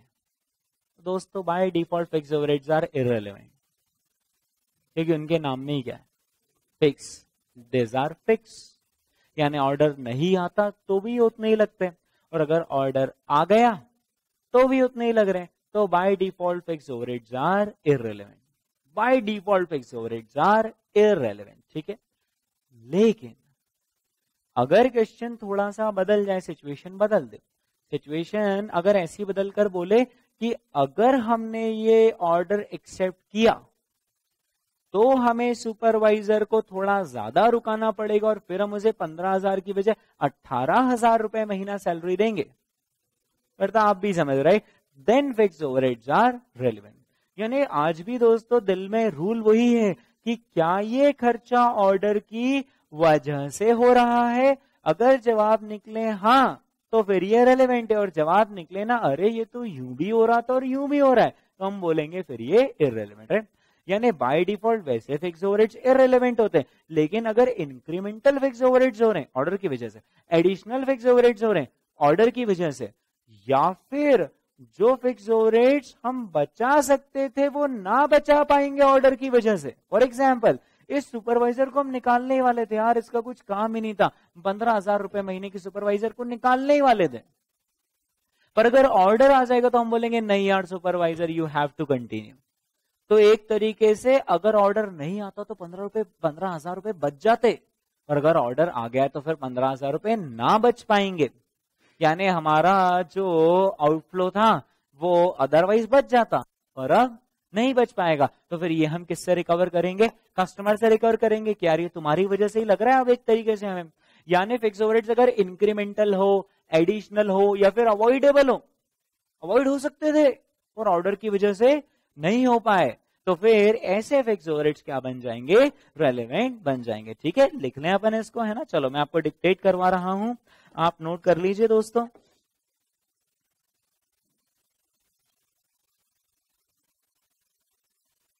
Okay by default fixed overheads are by default fixed overheads are always by default fixed overheads are always irrelevant By default, fixed overheads are always irrelevant. By default, fixed overheads are always irrelevant. However, however, if question mentions following words, However, if question mentions following words, however, if question mentions following words, और नीचे आप ये words लिखिए आप ये शब्द लिखिए दोस्तों कौन कौन से वर्ड्स क्वेश्चन मेंशन कर दें। लिखिए आप फ़र्स्ट वर्ड लिखिए एडिशनल फिक्स ओवरहेड्स लिखा दोस्तों आपने फ़र्स्ट वर्ड क्या लिखा? एडिशनल फिक्स ओवरहेड्स है ना? Okay okay. दूसरा वर्ड पता है हम क्या लिखना चाह रहे बताओ आप। इंक्रीमेंटल फिक्स ओवरहेड्स मतलब वो एडिशनल इंक्रीमेंटल खैर मतलब एक ही होता है। पर हम भोले भाले रहते हैं ना, इसलिए सारे बताने पड़ते हैं आपको। हाँ तो दूसरा वर्ड हमने कौन सा लिख लिया? Incremental okay incremental over okay फिर तीसरा आप लिखिए अवॉइडेबल फिक्स ओवर लिख लिया दोस्तों हमने तीसरा अवॉइडेबल फिक्स ओवर ओके हाँ फिर इसके बाद हाँ बस नीचे लिखिए. ठीक है? इसके नीचे लिखिए in all only in exceptional cases only in exceptional cases only in exceptional cases fixed overheads are relevant only in exceptional cases fixed overheads are relevant सिर्फ़ एक्सेप्शनल केसेस में ही फिक्स ओवरहेड्स रेलिवेंट होंगे, ठीक है? Okay अब मैं आपको कुछ इसे भ्रामक शब्द बताने वाला हूँ, जो कि आपको क्वेश्चन लिखकर देगा आपको भ्रमित करने के लिए। देखना कैसे?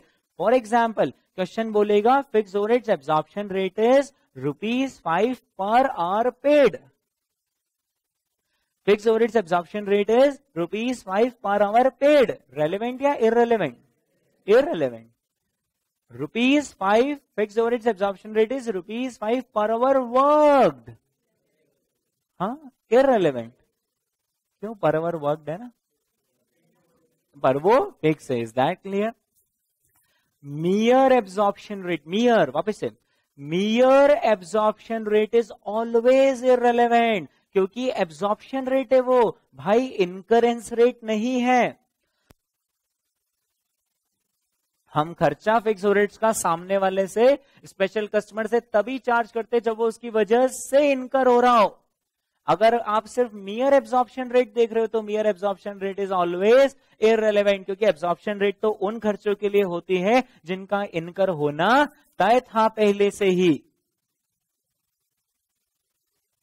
तो mere absorption rates are always irrelevant फिर वो भले ही आपको fixed rates absorption rate per unit दे दे पर आवर दे दे पर आवर वर्क दे दे ऐसा परसेंटेज ऑफ़ लेबर दे दे मतलब जमाने भर की एब्जॉर्प्शन रेट इज़ इरेलीवेंट ठीक है? पहली तो ये टर्म होती है भ्रमित करने के लिए तो आप तो एक काम कर लेना, कसम ही खा लेना कि अगर फिक्स रेट्स की एब्जॉर्प्शन रेट दे रखी तो बाय डिफ़ॉल्ट वो इरेलीवेंट है, ठीक है? पहला। दूसरा, दो शब्दों में दोस्तों फ़र्क करना सीखे additional fixed overheads is rupees five thousand ऐसा लिखा है क्वेश्चन ने case one additional fixed overheads is rupees five thousand case one दूसरा क्वेश्चन ने लिखा है company would add up overheads of rupees five thousand to the order company would add rupees company would add fixed overheads of rupees five thousand to the order company क्या करेगी? पाँच हज़ार रुपए के ओवरहेड जोड़ेगी। किस पर? ऑर्डर पर।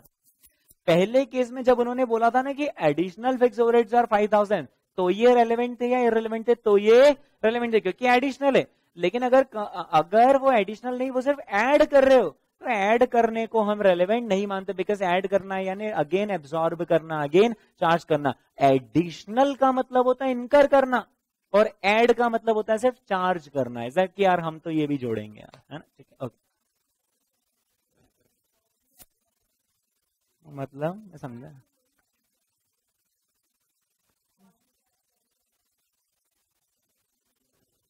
सेकंड वाले केस में रेलिवेंट होगा। नहीं। पहले में इरेलीवेंट है। पहला मतलब additional fixed overheads additional fixed overheads तो रेलिवेंट है ना? फॉर एग्जांपल क्वेश्चन ने लिखा additional fixed overheads is rupees five thousand मतलब क्या? रेलिवेंट दूसरी लैंग्वेज ऐसा लिखी company would add fixed overheads of rupees five thousand to the order company would add fixed overheads of rupees five thousand to the order तो एक बात बताओ। ये जो फाइव थाउज़ेंड है, ये जो आप एड कर रहे हो, है ना? वो आपके इस ऑर्डर की वजह से लग रहे हैं?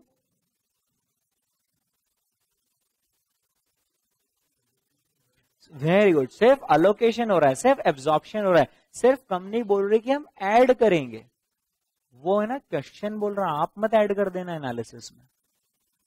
क्योंकि दो अलग अलग चीज़ें होती है। एक होती है ऑर्डर की कॉस्टिंग और एक होता है ऑर्डर का डिसीज़न लेना। अगर आप ऑर्डर की टोटल कॉस्ट कैलकुलेट करोगे तो, तो आप फिक्स कॉस्ट भी जोड़ोगे और मैं तो कहता हूँ प्रॉफिट भी जोड़ोगे। और हम क्या कर रहे हैं? हम यहाँ पर डिसीज़न ले रहे हैं। तो डिसीज़न लेते वक्त फिक्स खर्चे नहीं जुड़ते हैं ना? तो अगर कंपनी ऐड करेगी तो कंपनी को करने देना वो उनका इंटरनल कॉस्टिंग का मैटर है। हम तो यहाँ पर डिसीज़न लेने वाले हमें अकाउंटिंग से कोई मतलब नहीं तो अगर सिर्फ़ ऐसा लेगा ना कंपनी वुड एड इसका मतलब है कि कंपनी किसी उनकी, कोई होगी प्रोसीजर जिसके तहत एड कर रही होगी अच्छा एक और लैंग्वेज में आपके सामने बोल रहा हूँ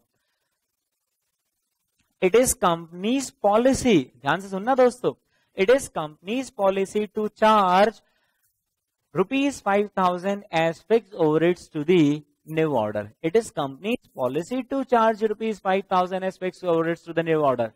Irrelevant. Is that clear? वो कंपनी की पॉलिसी है तो वो कंपनी जाने। पर हम तो ऑर्डर का डिसीज़न लेते वक्त ये बोलेंगे, भाई, क्या ये लग रहा है क्या?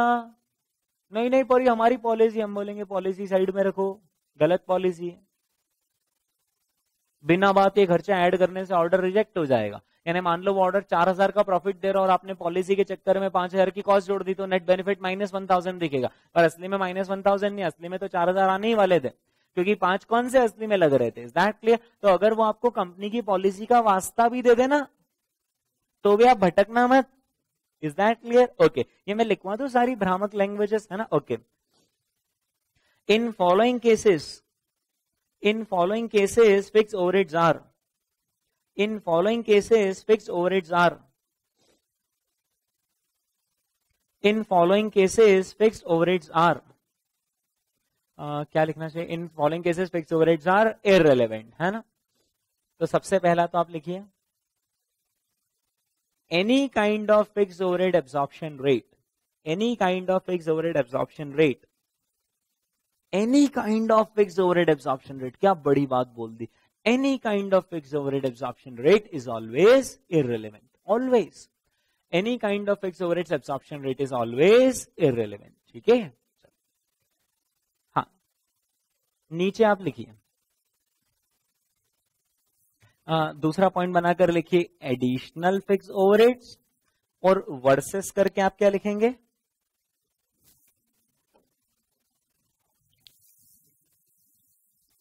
Fixed overheads added to the order as a matter of company's policy as a matter of company's policy वो भले ही कंपनी की पॉलिसी का भी आपको वास्ता दे दें। आप तो कहना हम तो कंपनी से भी बड़े रेलेवेंट कॉस्टिंग है। रेलेवेंट कॉस्टिंग सबसे ऊँचा होता है। Okay okay. हाँ तो एडिशनल फिक्स ओवरहेड्स अगर बोलेंगे तो वो रेलेवेंट होंगे, है ना? पर अगर वो बोल रहे कि हम तो फिक्स ओवरहेड्स ऐड करेंगे, अरे बोलना क्या ऐड करोगे यार? ये होंगे रेलेवेंट कॉस्ट क्योंकि ऐड करना मतलब चार्ज करना. चार्ज करना मतलब एब्जॉर्ब करना. तो हम बोलेंगे, लग रहे हैं क्या आपके? लग रहे हैं तो बात करो. वो फिर नहीं, पर हमारी तो पॉलिसी चार्ज करने की. हम बोलेंगे, वो आप करते रहना. पर अभी डिसीज़न मेकिंग में तो वो काउंट नहीं होंगे. ठीक है? है ना? ओके ठीक है? ओके तो चलिए दोस्तों, ये हमने कौन सा वाला कॉन्सेप्ट कवर किया which is related to fixed overheads है ना? अब हम एक आखिरी कॉन्सेप्ट कवर करना चाह रहे हैं which is related to relevant machine cost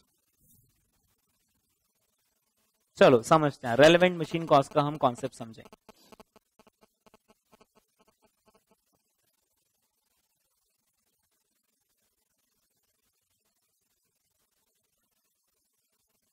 relevant machine cost relevant machine cost है ना? सबसे पहले तो समझते हैं कि यार ये कॉन्सेप्ट आखिर पिक्चर में कैसे है? तो दोस्तों, इस कॉन्सेप्ट का पिक्चर में आना तो स्वाभाविक था, आपने मटेरियल जोड़ लिया। क्योंकि सामने वाले का ऑर्डर ले रहे मटेरियल लग रहा है मटेरियल जोड़ लिया लेबर जोड़ लिया वेरिएबल ओवरहेड जोड़ लिया फिक्स ओवरहेड्स जोड़ लिया अब उसका ऑर्डर एग्जीक्यूट करने में जो हमें मशीन यूज़ करनी पड़ेगी, उसका भी कुछ ना कुछ पैसा तो हमें उससे लेना ही पड़ेगा राइट ओके है ना? तो किसी ने कहा कि, सर, हमें मशीन का डेप्रिसिएशन ले लेना चाहिए। क्योंकि, सर डेप्रिसिएशन ये रिफ्लेक्ट करता है कि मशीन की वैल्यू में कितनी गिरावट आई। मतलब डेप्रिसिएशन अपन ने इलेवन ट्वेल्थ में ही तो पढ़ा था यार। डेप्रिसिएशन ये मेजर करता है कि आखिर उस चीज़ को यूटिलाइज यूज़ करने में, आखिर उस चीज़ की कीमत में कितनी गिरावट आई, उसे कौन रिकॉर्ड करता है? डेप्रिसिएशन है ना? तो वो एक्यूरेटली रिकॉर्ड करता है या अप्रोक्सीमेटली रिकॉर्ड करता है? अप्रोक्सीमेटली तो मैं आपको एक एक्यूरेट तरीका बताता हूँ। आप ये देखना कि उसके लिए ऑर्डर पर यूज़ करते वक्त, उसके लिए ऑर्डर पर यूज़ करने से ठीक पहले इस मशीन की वैल्यू क्या थी? और जब आपने उसका पूरा ऑर्डर प्रोसेस कर दिया तो इसके बाद इस मशीन की वैल्यू क्या हो गई? जितना फॉल इन मशीन की वैल्यू आए, वो आप किससे रिकवर कर लेना, सामने वाले से रिकवर कर लेना। क्या वो मना कर सकता है? नहीं। अगर वो मना करे तो फिर हम उसके लिए मशीन यूज़ नहीं करेंगे। हम बोलेंगे, अरे, तुम्हारे लिए यूज़ कर मशीन की वैल्यू कम हो रही है तो हमको अब ये पैसा तुमसे चाहिए राइट है ना? ओके तो दोस्तों मशीन की कॉस्ट में बजाय कि हम डेप्रीसिएशन ले सामने वाले से, उसके बजाय हम उससे ज़्यादा बेहतर मेजर ले रहे हैं, जो सीधे ही बता रहे हैं कि मशीन की वैल्यू में कितनी गिरावट आई। क्योंकि डेप्रीसिएशन तो एक दस साल का एवरेज लेकर और कुछ ऐसा करता है राइट हम तो उससे ज़्यादा सटिक बात कर रहे हैं एक्यूरेट बात कर रहे हैं ना? तो यहाँ पर मैं आपको बताना चाहूँगा कि depreciation is always irrelevant and instead of depreciation, what we take into account is the fallen. Uh, of machine value of machine है ना? और पता है क्या करा? इन जालिमों ने यहाँ पर भी दो तरह की मशीन डाल जैसे मेटेरियल दो तरह का हुआ करता था ना वैसे इन लोगों ने बोला यार अब बच्चों के मज़े कैसे लें? तो उन्होंने बोला चलो दो तरह की मशीन लेकर आते हैं। एक वो जो इन रेगुलर यूज़ हो और दूसरी वो जो कि नॉट इन रेगुलर यूज़ हो है ना?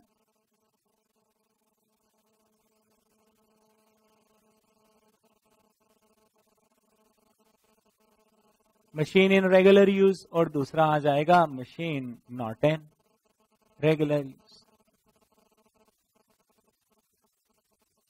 चलो अपन machine not in regular use से बातें अपनी शुरू करते हैं।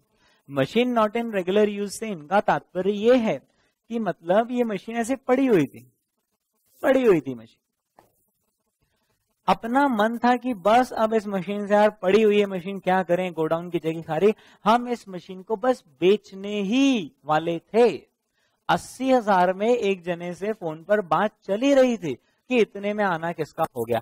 स्पेशल कस्टमर उसने बोला, वो वो मशीन जो इतने दिन से पड़ी हुई है, वो मेरे ऑर्डर में आप यूज़ कर लेना। हमने कहा, ठीक है यार, आपके लिए यूज़ कर लेंगे। मान लो ऑर्डर छह महीने चलेगा। हमने जिससे बात चल रही थी, हमने उसको बोला, अरे भाई साहब एक्चुअली प्रॉब्लम हो गई। ये मशीन वैसे तो हमको आज बेचने वाले थे और हम हाँ बोले इससे पहले ही उधर से स्पेशल कस्टमर आ गया। अब वो स्पेशल कस्टमर के लिए हम छह महीने यूज़ करेंगे मशीन और देखो, हमारे तो वैसे भी काम की नहीं तो हम आपको छह महीने बाद बेच देंगे। सामने वाला उखड़ गया, उसने कहा, आज बेचते तो मैं आपको एटी थाउज़ेंड रुपीज़ देता था। अब आप छह महीने बाद दोगे वो के लिए यूज़ करके, अपन आपको फिफ्टी थाउज़ेंड रुपीज़ देंगे। हम बोलेंगे, ठीक है यार, आप दो मिनट वेट करो, अपना तो कितने का नुकसान होने वाला है ऑर्डर के चक्कर में थर्टी थाउज़ेंड हम ऑर्डर को बोलेंगे ऑर्डर हम तुमसे तीस हज़ार रुपए लेंगे मशीन के। क्या तुम देने को तैयार हो? अगर हाँ तो फिर हम उधर हाँ बोलते और अगर ना तो फिर हम तुमको ना बोलते और उधर हाँ बोलते राइट यानी अगर machine not in regular use हो तो आप स्पेशल कस्टमर से कितना चार्ज करोगे? द फॉलन रिप्लेसमेंट प्राइस या फिर the fall fallen realisable value the fall fallen realisable value right okay चलो। क्योंकि वैसे भी, अरे इसके रिप्लेसमेंट करने का तो सवाल ही नहीं, यही मशीन तो काम में नहीं आ रही, हम इससे ही परेशान है। तो फॉलन वही net realisable value word use कर देता हूँ मैं। Fall in net realisable value is relevant machine cost fall in net realisable value is relevant machine cost है ना? नेट रियलाइजेबल वैल्यू में जो गिरावट आ जाएगी सो हमारे लिए क्या बन जाएगी? रेलिवेंट मशीन कॉस्ट बन जाएगी, ठीक है? बोलो। ओके फॉल का मतलब ऑर्डर से पहले और ऑर्डर के बाद, है? ओके क्या हुआ? कि एक मशीन थी जो कि रेगुलर यूज़ में मतलब कस्टमर आया और उसने चलती फिरती मशीन की और इशारा कर दिया कि मेरे लिए तो यही मशीन यूज़ होगी। हमने कहा, पर ये मशीन महँगी है तो हमारे काम में आती है। उसने कहा, पर मेरे ऑर्डर के लिए तो यही मशीन यूज़ होगी। हमने कहा, देखो भाई साहब, ये जो मशीन है ना अच्छा इस मशीन को कितने में खरीद कर लेकर आए थे, वो रेलेवेंट होगा क्या? नहीं, वो इरेलीवेंट होगा क्योंकि वो तो पास कॉस्ट हो चुकी हम बोलेंगे, देखो भाई साहब, ये जिस मशीन की और आप इशारा कर रहे हो ना, ऐसी की ऐसी मशीन बाज़ार में दो लाख रुपए की आती है। उन्होंने कहा, ठीक है, बराबर बात हाँ तो आगे बोलो। तो हमने कहा अब अगर आपके लिए हम ये छह महीने मशीन यूज़ करेंगे तो इस मशीन की वैल्यू में डेफिनेटली कुछ ना कुछ फॉल तो होगा ही होगा, क्योंकि इस मशीन का जो वियर एंड टेयर होगा, इसकी वजह से छह महीने बाद इस मशीन की रिप्लेसमेंट प्राइस यानी फिर छह महीने बाद ये जिस हालात में होगी मशीन वैसी हालात की मशीन छह महीने बाद दो लाख में थोड़ी ना, कम रुपए में मिलेगी। अरे, अभी नई मशीन है, छह महीने यूज़ हो जाएगी। तो छह महीने यूज़ होने के बाद वैसी की वैसी मशीन खरीदने जाओगे तो दो लाख की थोड़ी ना। वो तो अच्छी क्वालिटी की मशीन आ रही दो लाख। अच्छी मशीन जो यूज़ नहीं है। अब यूज़ हुई मशीन तो दो लाख में थोड़ी ना मिलेगी। वो लेटेस्ट से मिलेगी एक लाख पचास हज़ार में। तो उन भाई साहब ने बोला तो इससे क्या? तो हमने कहा कि एक तरीके से हम आपके ऑर्डर के लिए लगाएँगे तो दो लाख रुपए की मशीन पर जब आपके ऑर्डर से चलकर आएगी तो ये कितने की रह जाएगी? वन लाख फिफ्टी थाउज़ेंड और ये हम रियलाइजेबल वैल्यू की बात नहीं कर रहे, ये हम रिप्लेसमेंट कॉस्ट की बात कर रहे हैं, क्योंकि ऐसी मशीन हम आज खरीदे तो वो कितने की? दो लाख की, और जिस हाल में ये मशीन हो जाएँगे, इस मशीन के जो हाल बेहाल हो जाएँगे छह महीने बाद तभी मशीन कितने की आएगी? वन लाख फिफ्टी थाउज़ेंड की ऐसी कैसी मशीन यानी हमारी तो बेचारी मशीन की वैल्यू कम हो गई पचास हज़ार। तो हम आपसे कितने लेंगे? पचास हज़ार, क्योंकि हमारा तो नुकसान हो रहा है पचास हज़ार का। उन भाई साहब ने भी थोड़ा सा रिलेवेंट कॉस्टिंग पढ़ रखा था तो उन्होंने बोला था तो ये तो आप मेरे ऑर्डर पर नहीं यूज़ करते और किसी रेगुलर कस्टमर के लिए यूज़ करते तो भी होता। हमने कहा हाँ तो। तो उन्होंने बोला, फिर तो ये रिलेवेंट हुआ। हमने कहा, कैसे? उन्होंने बोला, अगर इफ़ नो ऑर्डर तो भी ये कहीं और यूज़ होता और दो लाख से एक लाख पचास हज़ार इसकी वैल्यू होती। आप बोल मशीन इज़ रेगुलर यूज़ तो तब भी ये टू लैख से वन लाख फिफ्टी थाउज़ेंड पर आता और आप मेरे लिए यूज़ कर रहे हो तो भी टू लैख से वन लाख फिफ्टी थाउज़ेंड आता। तो इज़ एन कॉस्ट हमने कहा, आपने थोड़ी सही जगह से नहीं पढ़ा अब आप समझो इसके पीछे कारण वो जब हम किसी और के लिए नॉर्मल कस्टमर के लिए यूज़ करते और तब वैल्यू टू लैख से वन लैख फिफ्टी थाउज़ेंड होती तो क्या हम उसको फ्री में छोड़ देते या उससे रिकवर करते? तो अब अगर आपके लिए ले रहे हैं तो किससे रिकवर करेंगे? आपसे रिकवर करेंगे। Therefore fall in replacement cost is relevant why because ये रेगुलर यूज़ में तो अदरवाइज़ पैसा रिकवरेबल था। तो अब आपके लिए यूज़ करेंगे तो हमको आपसे चाहिए राइट ओके चल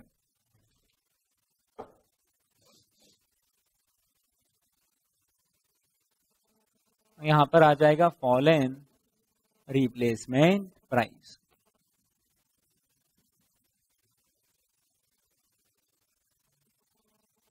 is relevant machine cost ठीक है? है ना? और यहाँ पर नोट बनाकर देख लो कि डेप्रीसिएशन इज़ ऑलवेज है ना? यहाँ पर मैं डिक्टेट करवा रहा हूँ, आप नोट करो। Depreciation is always irrelevant depreciation is always irrelevant क्यों यार? Because it is depreciation is always irrelevant because it is because it is mere apportionment of. Depreciation is always irrelevant because it is mere apportionment of mere m-e-r-e because it is mere apportionment of historical cost. Because it is mere apportionment of historical cost of machine that has already been incurred because it is mere apportionment of historical cost of machine that has already been incurred. क्या जो मैंने लिखवाया वो आप समझ गए?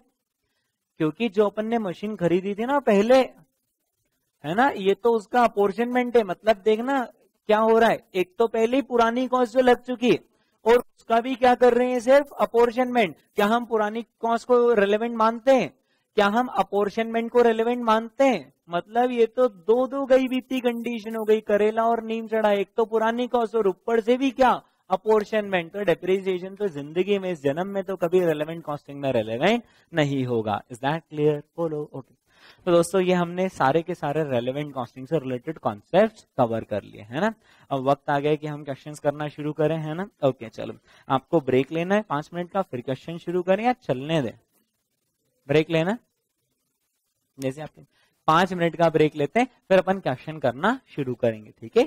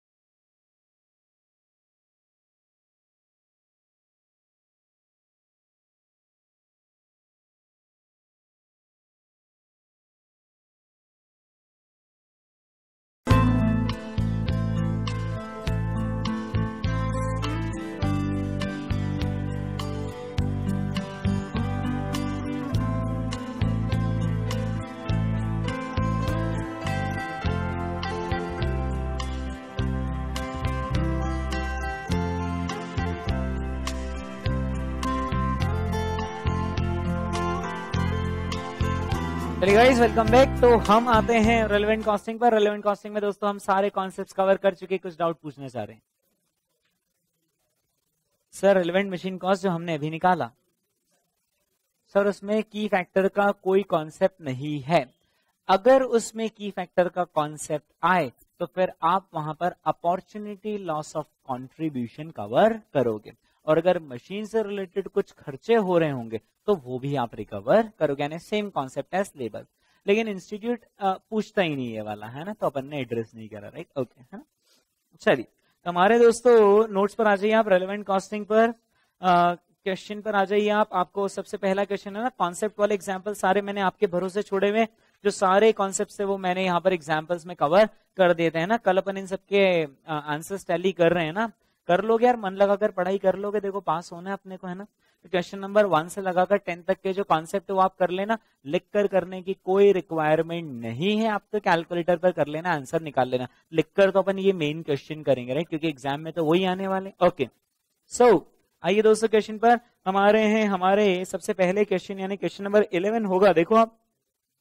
है ना? ओके ये क्रैश बैच के नोट्स मेन बैच से थोड़े अलग है। मतलब मैंने इसमें जो लो लेवल क्वेश्चन थे ना जैसे फर्जी टाइप से थे, वो सारे हटा दिए। मतलब बहुत रेलेवेंट क्वेश्चन है हमारे इसमें right okay question number eleven पर आइए।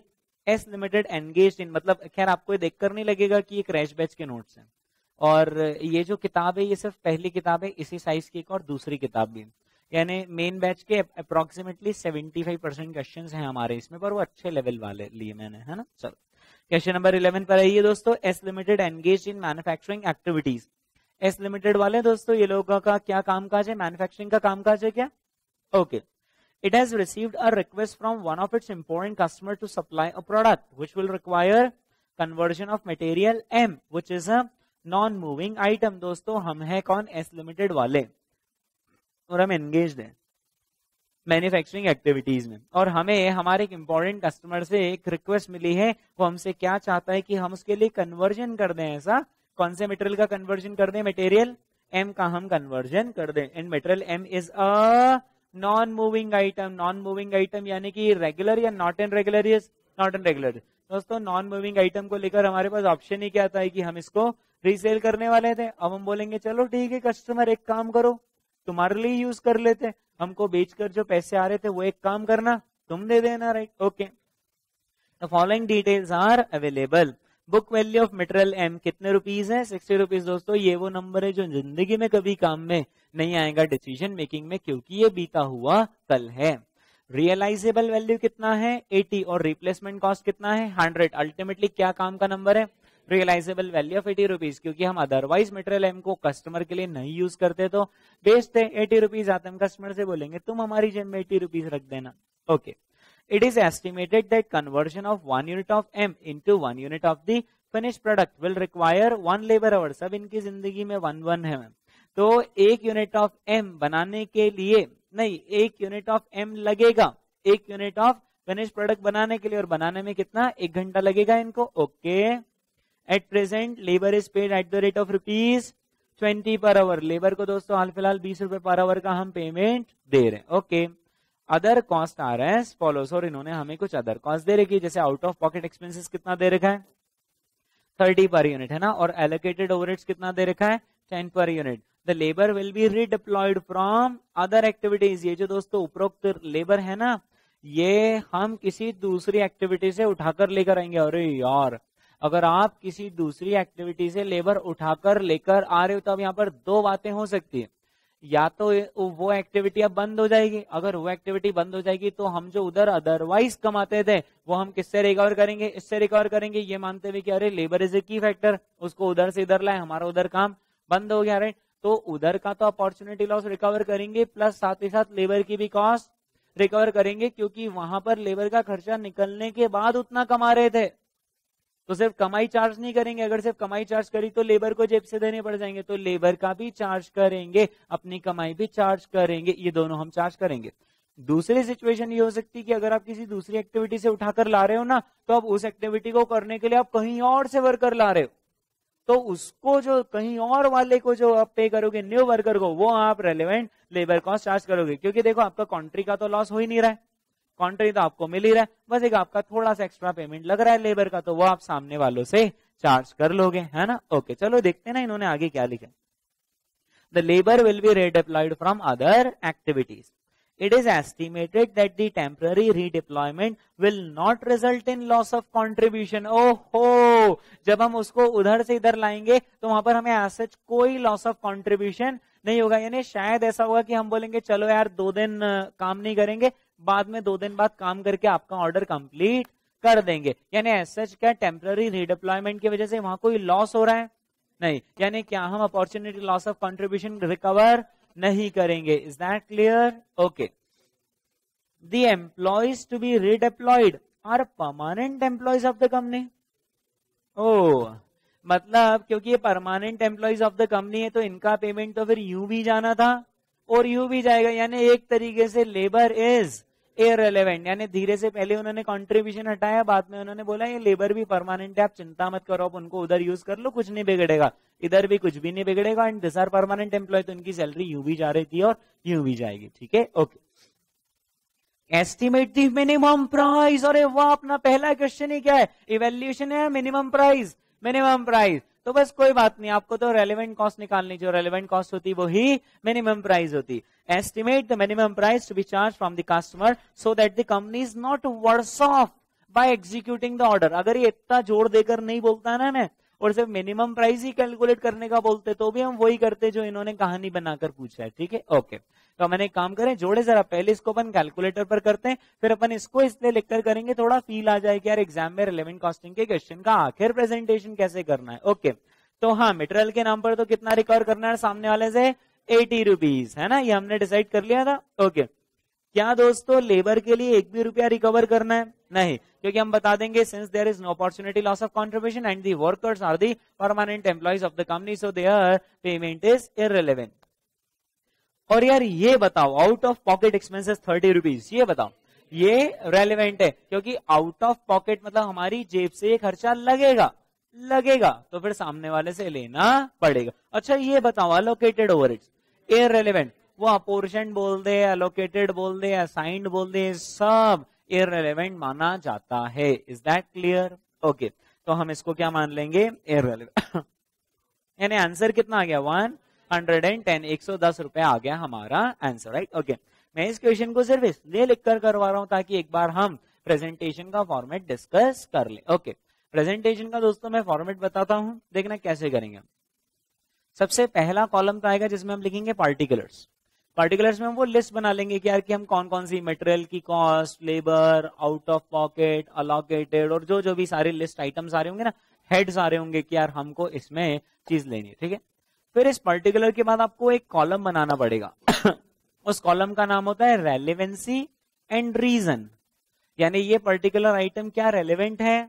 अच्छा हाँ रेलिवेंट है। तो आखिर ये रेलिवेंट क्यों है राइट कारण सहित बताना पड़ता है। और अगर इरेलीवेंट है तो आखिर ये इरेलीवेंट क्यों है ना? यानी हम यहाँ आइटम लिखते हैं, यहाँ पर उसका रेलिवेंसी एंड रीजन लिख देते राइट बस इतना एक्सप्लेन कर दिया। इसके बाद अगर कोई सा क्वेश्चन ऐसा हो जिसमें कैलकुलेशंस भी करने हो तो कंप्यूटेशन का कॉलम बनाना, फिर अमाउंट का बनाना। पर क्या इस क्वेश्चन में कुछ कैलकुलेशन जैसा है क्या? सीधा सीधे ही दे रखा है राइट तो इसमें सीधे ही कौन सा कॉलम बनाएँगे? अमाउंट हाँ यही मान लो कि दस हज़ार यूनिट्स का ऑर्डर होता और चार किलो लग रहा होता मटेरियल और ऐसा वैसा तो हम कंप्यूटेशन का भी कॉलम बनाते राइट यानी हमारे बिल्कुल फिक्स चार कॉलम होते हैं। एक तो पर्टिकुलर्स का, दूसरा रेलिवेंसी एंड रीजन का, तीसरा कंप्यूटेशन का विच इज़ ऑप्शनल और चौथा अमाउंट का, बस। ऐसे ऐसे ऐसे करके अपन टेबुलर प्रेजेंटेशन कर देते और नीचे जब अपन टोटल लगाते तो वो क्या आ जाती है? हमारी टोटल रेलिवेंट कॉस्ट ठीक है? चलो आओ यार, इसको करते हैं अपन, लिख कर करते हैं एक बार।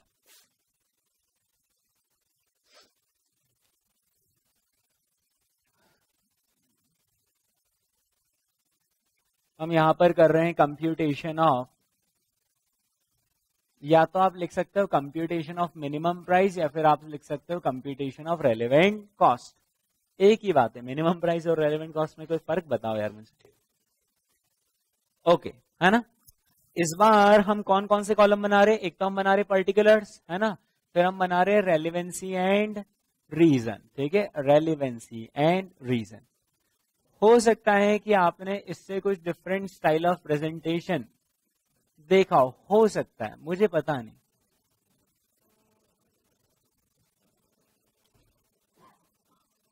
ठीक है? ओके है ना? हाँ जी लेना शुरू करते हैं ना अपन। सबसे पहले जैसे किसकी बात कर लेंगे हम कौन सा मेटेरियल बोला इन्होंने मेटेरियल एम बोला है ना? ओके तो हम यहाँ पर क्या लिख देंगे? मेटेरियल एम ठीक है? यहाँ पर हम क्या लिख देंगे? मेटेरियल एम हाँ। तो क्या कहना आपका? रेलिवेंट है या इरेलीवेंट है? रेलिवेंट है, है ना? तो हम देख रहे हैं यहाँ पर क्या लिखेंगे? Relevant cost is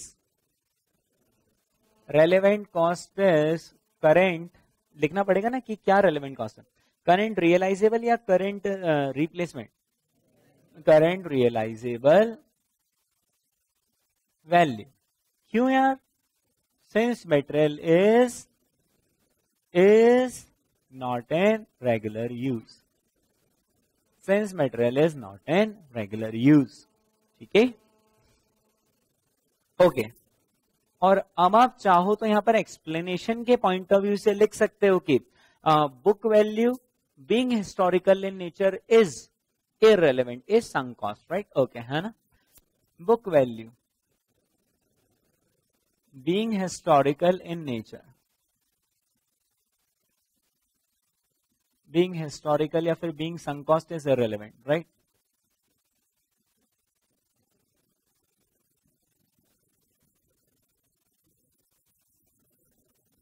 okay okay. और पता है अमाउंट के कॉलम में सिंपल ना लिख देंगे। एटी रुपीज़ ठीक है? चलो ओके हाँ. अगला, अपन क्या उठा लेंगे? अच्छा लेबर लिखे या नहीं लिखे? लिखना पड़ेगा, है ना? लिखे पर हम उसे रिलेवेंट डिक्लेयर कर देंगे, ठीक है? ओके चलो, लिखो यार लेबर है ना? और यहाँ पर हम लिखेंगे irrelevant cost since there is no opportunity loss of contribution पहला तो वो कारण बना था। Since there is no opportunity loss of contribution, also, या फिर एज वेल एज करके भी उस सेंटेंस को हम कंटिन्यू कर सकते हैं। Also labour are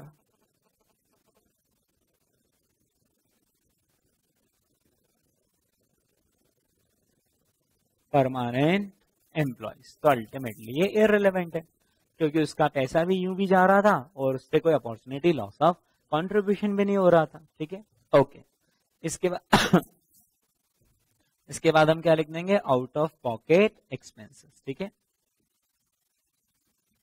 हाँ इसको हम क्या डिक्लेयर करेंगे? रेलेवेंट कॉस्ट है ना? अब इसको रेलेवेंट कॉस्ट डिक्लेयर करने के बहाने आप उन कई सारे वाहनों में से कोई सा भी एक बहाना लिख देना सारे ही वैलिड है। फॉर एग्ज़ाम्पल आप यहाँ पर देखना क्या क्या लिख सकते हो। Relevant cost being additional in nature relevant cost being incremental in nature relevant cost being outflow incurred relevant cost being amount to be spend ऐसे सारे वर्ड आपने कभी सुनेंगे amount to be spend being outflow incurred आप इन सब में से कोई सा भी वर्ड लिख दो, सारे इक्वली वैलिड है, सबके मतलब भी एक ही है, बस नाम अलग है। Relevant cost being amount to be spend ऐसा लिख दो। अगर आपको ये जमता और इसकी आदत है तो।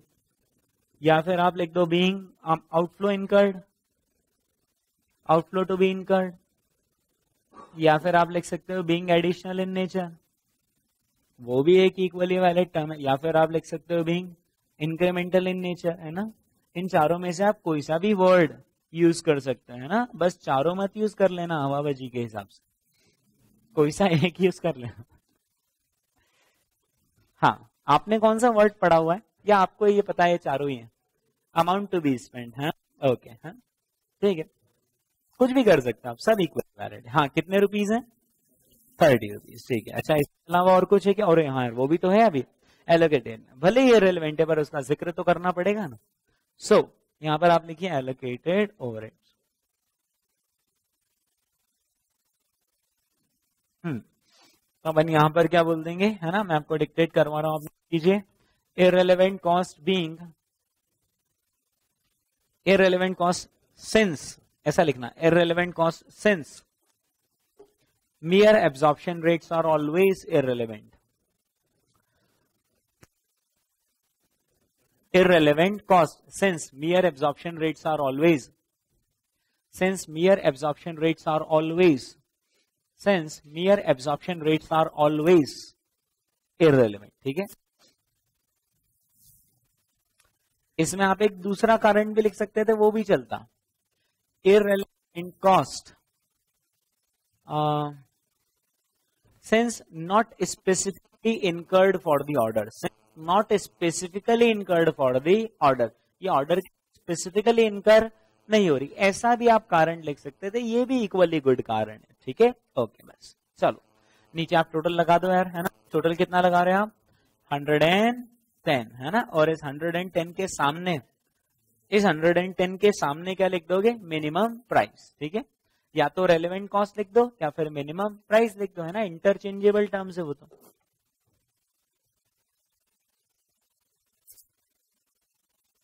ठीक है? चलो इस क्वेश्चन में मर्ज़ी चाहे जो डाउट हो वो पूछ लो इस क्वेश्चन के प्रेजेंटेशन में मर्ज़ी चाहे जो डाउट हो वो पूछ लो, ठीक है? क्लियर है? चलने दे फिर। ओके सो अब हमारे दोस्तों, हमारे नेक्स्ट क्वेश्चन जैसे कहते हैं question number twelve question number twelve पर पधारिए। Pick and Save Limited has received an order from Senha to be executed for rupees 1800 all inclusive दोस्तों, इस क्वेश्चन को हम कैलकुलेटर पर करेंगे।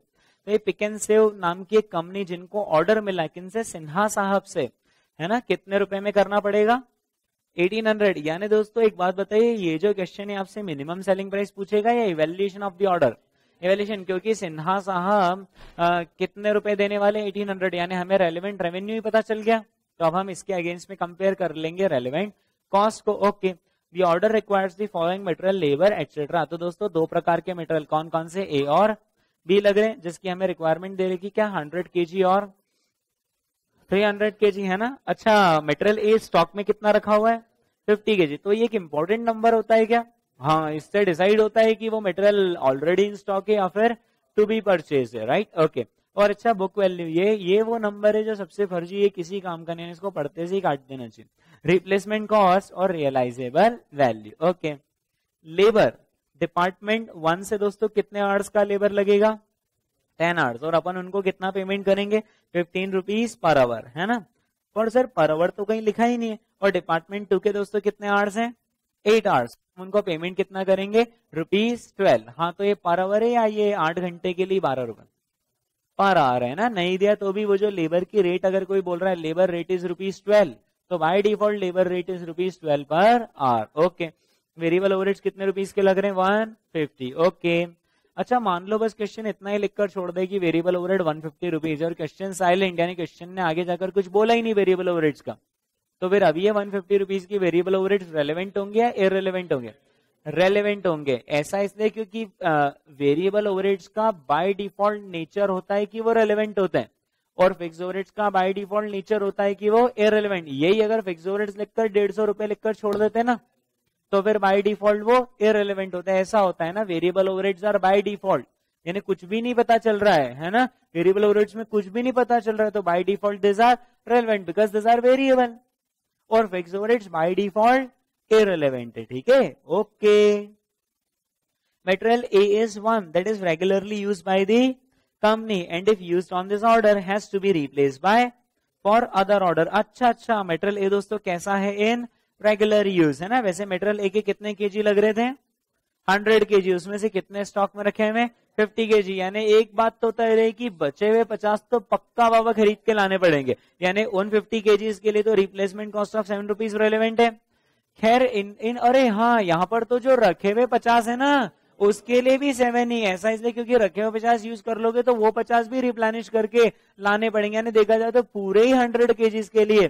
सेवन रुपीज़, सात रुपए रेलिवेंट है, ठीक है? Okay material B has no use and is the result of excessive purchases made for an order executed two years ago दो साल पहले आपने कोई ऑर्डर एग्जीक्यूट किया था, तब आपने खूब उधम मचाई, ज़्यादा खरीद लिया। अब भुगत रहे आप पड़ा हुआ आपके पास ही, है ना? तो मटेरियल बी के लिए दोस्तों रेलिवेंट कॉस्ट क्या हो जाएगा? रियलाइजेबल वैल्यू जरा आप मुझे अमाउंट कैलकुलेट करके बताओ मटेरियल बी का कितना आता है? थ्री हंड्रेड नहीं आ रहा है क्या? सिक्स ट्वेंटी आ रहा है क्या? सिक्स ट्वेंटी आ रहा है ना? क्योंकि यहाँ पर वो बात आपको ध्यान रखनी पड़ेगी कि पूरा थ्री हंड्रेड के जी के लिए वन रुपये रेलिवेंट नहीं है ना?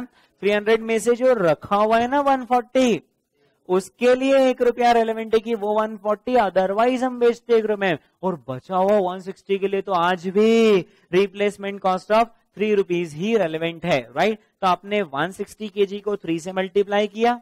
और अपने 140 फोर्टी के को वन से किया तो करेक्ट आंसर है सिक्स ट्वेंटी ठीक है? मेटेरियल बी के लिए, है ना? बोलो यार, क्या डाउट है? क्लियर है? Okay labour and department one दोस्तों लेबर में आना यार लेबर को लेकर मुझे हमेशा कंफ्यूजन रहा है। Labour and department one is available for this order but labour and department two is fully engage on another order which is earning contribution of rupees twenty per hour अच्छा मतलब labour one तो समझ में आया नहीं है लेकिन labour to समझ में आ गया कि labour two is a key factor because it is fully engage on another order which is earning a contribution of rupees twenty per hour if order from Sinha is to be executed labour and department two has to be diverted from current operation यानी अगर सिन्हा साहब का हमने order लिया तो हमें department two के labour को डाइवर्ट करना पड़ेगा, जिसकी वजह से कंपनी को भारी नुकसान होगा। कितने रुपीज़ पर आवर का? ट्वेंटी रुपीज़ पर आवर का। तो एक बात बताना दोस्तों, सिर्फ़ ट्वेंटी रुपीज़ पर आवर ही रिकवर करेंगे या वो भी प्लस लेबर की कॉस्ट भी? लेबर क्योंकि ट्वेंटी तो हम तब कमाते थे जब लेबर का खर्चा निकाल लेते थे। तो अब लेबर को अगर किसी और के लिए लगा रहे हैं तो लेबर का खर्चा तो लेना ही पड़ेगा। प्लस हमारा भी पैसा लेना पड़ेगा। नहीं डिपार्टमेंट टू को लेकर तो मैं क्लियर हूँ। मुझे पोजीशन पता है किसको लेकर क्लियर नहीं है. डिपार्टमेंट वन यानी डिपार्टमेंट वन में मेरे पास दो ऑप्शंस मुझे नज़र आ रहे हैं. एक तो अपन डिपार्टमेंट वन के लिए फिर सिंपल वो जो उन्होंने बोला ना ten hours into fifteen rupees वो ले लो. और दूसरा ये मान लो कि नहीं, वो आइडल है तो फिर इरेलीवेंट हो जाएगा. आइडल है क्या? Is available for this order मतलब आइडल है ऐसा? इरेलीवेंट है ऐसा? नहीं। इज़ अवेलेबल हाँ अव, नहीं अवेलेबल के दो मीनिंग आते हैं। अवेलेबल का एक ये मीनिंग है कि हाँ आप बोलोगे अपन काम कर देंगे लेकिन पैसे लगेंगे। यानी कि वो मतलब हाँ एक मिनट इसके दो इंटरप्रिटेशन या तो वो नॉर्मली एंगेज है पर अगर ऑर्डर आया तो this are available for work आपके लिए काम कर देंगे। हाँ ओके पहला ये। और दूसरा ये कि अरे, फालतू ही बैठे हैं, इसलिए अवेलेबल है। तो ये कौन सा वाले अवेलेबल है? मतलब ये इनका काम काज चल रहा है और ये बोल रहे चलो, आएगा तो वो भी कर देंगे। और या फिर ये फालतू बैठे वाले अवेलेबल है। फ़र्स्ट वाले अवेलेबल है नॉर्मली एंगेज है और अपना काम आएगा तो कर देंगे। तो अगर ऐसा है तो फिर लेबर की कॉस्ट रेलिवेंट होगी या इरेलीवेंट होगी? ऐसा है तो फिर लेबर की कॉस्ट रेलिवेंट होगी, है ना? इनकेस अगर ये फालतू बैठे हुए वाले हैं तो फिर तो ये इरेलीवेंट होगी। सोचना सिर्फ़ क्या है कि ये कौन से वाले अवेलेबल है? यानी नॉर्मली एनगेज और हमारे लिए अवेलेबल है? या ये तो आइडल ही और हमारे लिए अवेलेबल है? आइडल है ऐसा? पर नहीं, पर एक बात नहीं है ना, आप समझ रहे हो? जैसा इंटरप्रिटेशन निकालेंगे, उससे सोल्यूशन चेंज हो जाएगा। क्योंकि अगर आइडल है तो ये रेलिवेंट है। और अगर नॉर्मली अवेलेबल है तो फिर तो रेलिवेंट है। यानी नॉर्मली अवेलेबल है तो उनका काम चल रहा है। आपके लिए काम करेंगे तो आपके लिए जो घंटे लगेंगे, उसके लिए आपको पेमेंट देना पड़ेगी। हाँ यार, बोलो। मतलब ये समझ में नहीं आ रहा है रेलेवेंट है रेलेवेंट है। या तो पहले आपको समझ में आ रहा था, मैंने आपको कंफ्यूज कर दी मेरा तो काम ही यही है।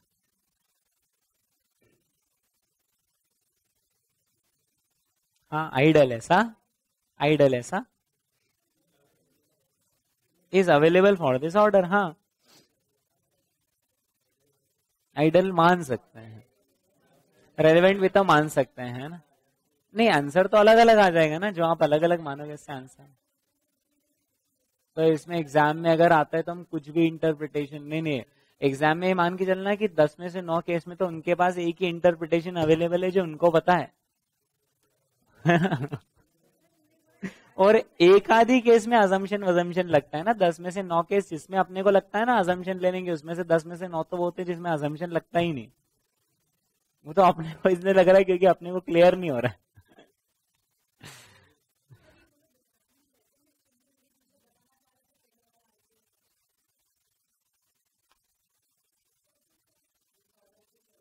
इस ऑर्डर के लिए अवेलेबल है। बाकी वो आइडल नहीं है। अच्छा तो अगर वो आइडल नहीं मतलब वो कहीं और तो एंगेज है, पर उनका कहना है कि इस ऑर्डर के लिए आ जाएँगे। पर आ जाएँगे तो पैसे तो लगेंगे फिर, क्योंकि इतने आर्ट्स के है ना मतलब रेलिवेंट लेना पड़ेगा। मतलब क्लास दो भागों में डिवाइडेड है। एक जो कह रहे हैं कि नहीं they are not idle they are normally occupied but they are available तो आ जाएँगे, है ना?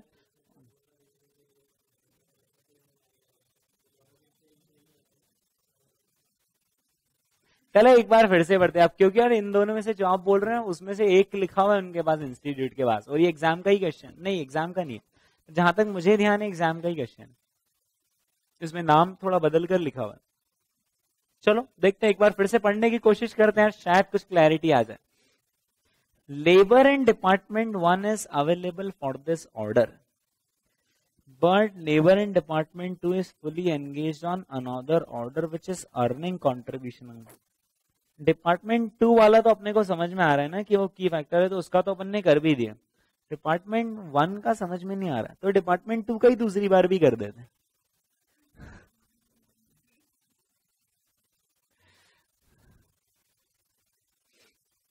चलो फिर से, एक बार फिर से। Labour in department one is available for this order but इसको अंडरलाइन करो आप। इस बट वर्ड को आप अंडरलाइन करो। और पहले मुझे समझाओ कि ये बट वर्ड कहाँ किस सेंटेंस में यूज़ होता है। उस सेंटेंस में यूज़ होता है जहाँ पर पहली जो सिचुएशन है, उसी के कंटिन्यूएशन में, यानी वैसी ही दूसरी सिचुएशन है या उसकी विपरीत दूसरी सिचुएशन है।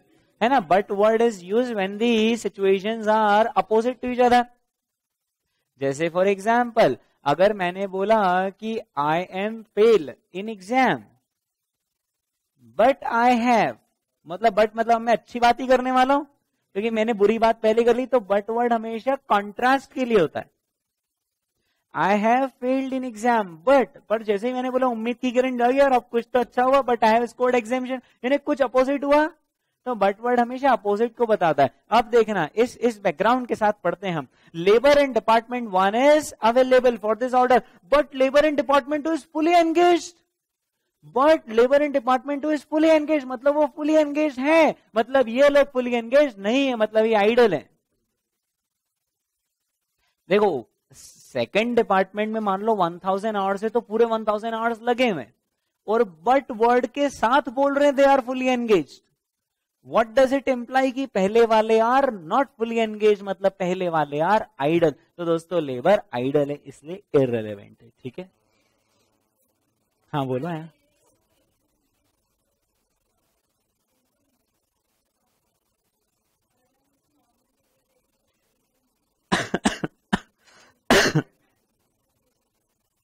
नहीं, मैं समझा ही नहीं है तुम्हारा। तुम क्या कहना चाह रहे हो?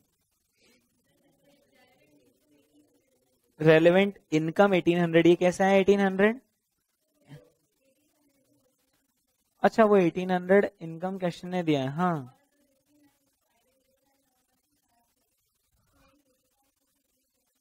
नहीं नहीं नहीं, एक मिनट एटीन हंड्रेड रुपीज़ जो रेलिवेंट रेवेन्यू उसका और सेंटेंस का तो कोई कनेक्शन ही नहीं है। दो मिनट के लिए काम करो एटीन हंड्रेड रुपीज़ वाला वो रेलिवेंट रेवेन्यू की इंफॉर्मेशन ही हटा दो। पर उससे इसमें कोई, उसका और इसका कोई कनेक्शन ही नहीं है हाँ।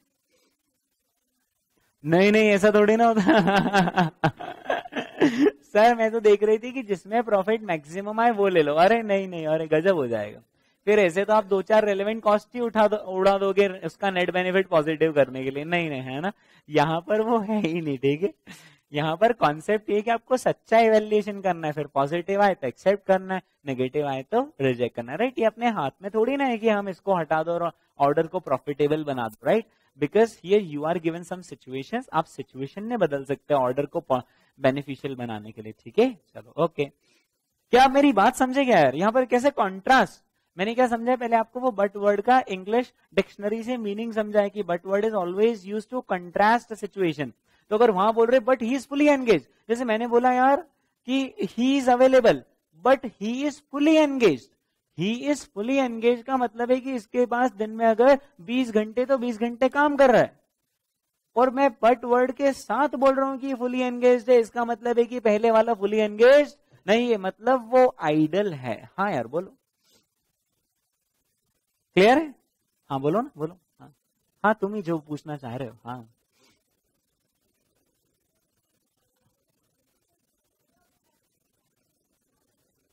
ऐसा कहा बोला? But department two is not available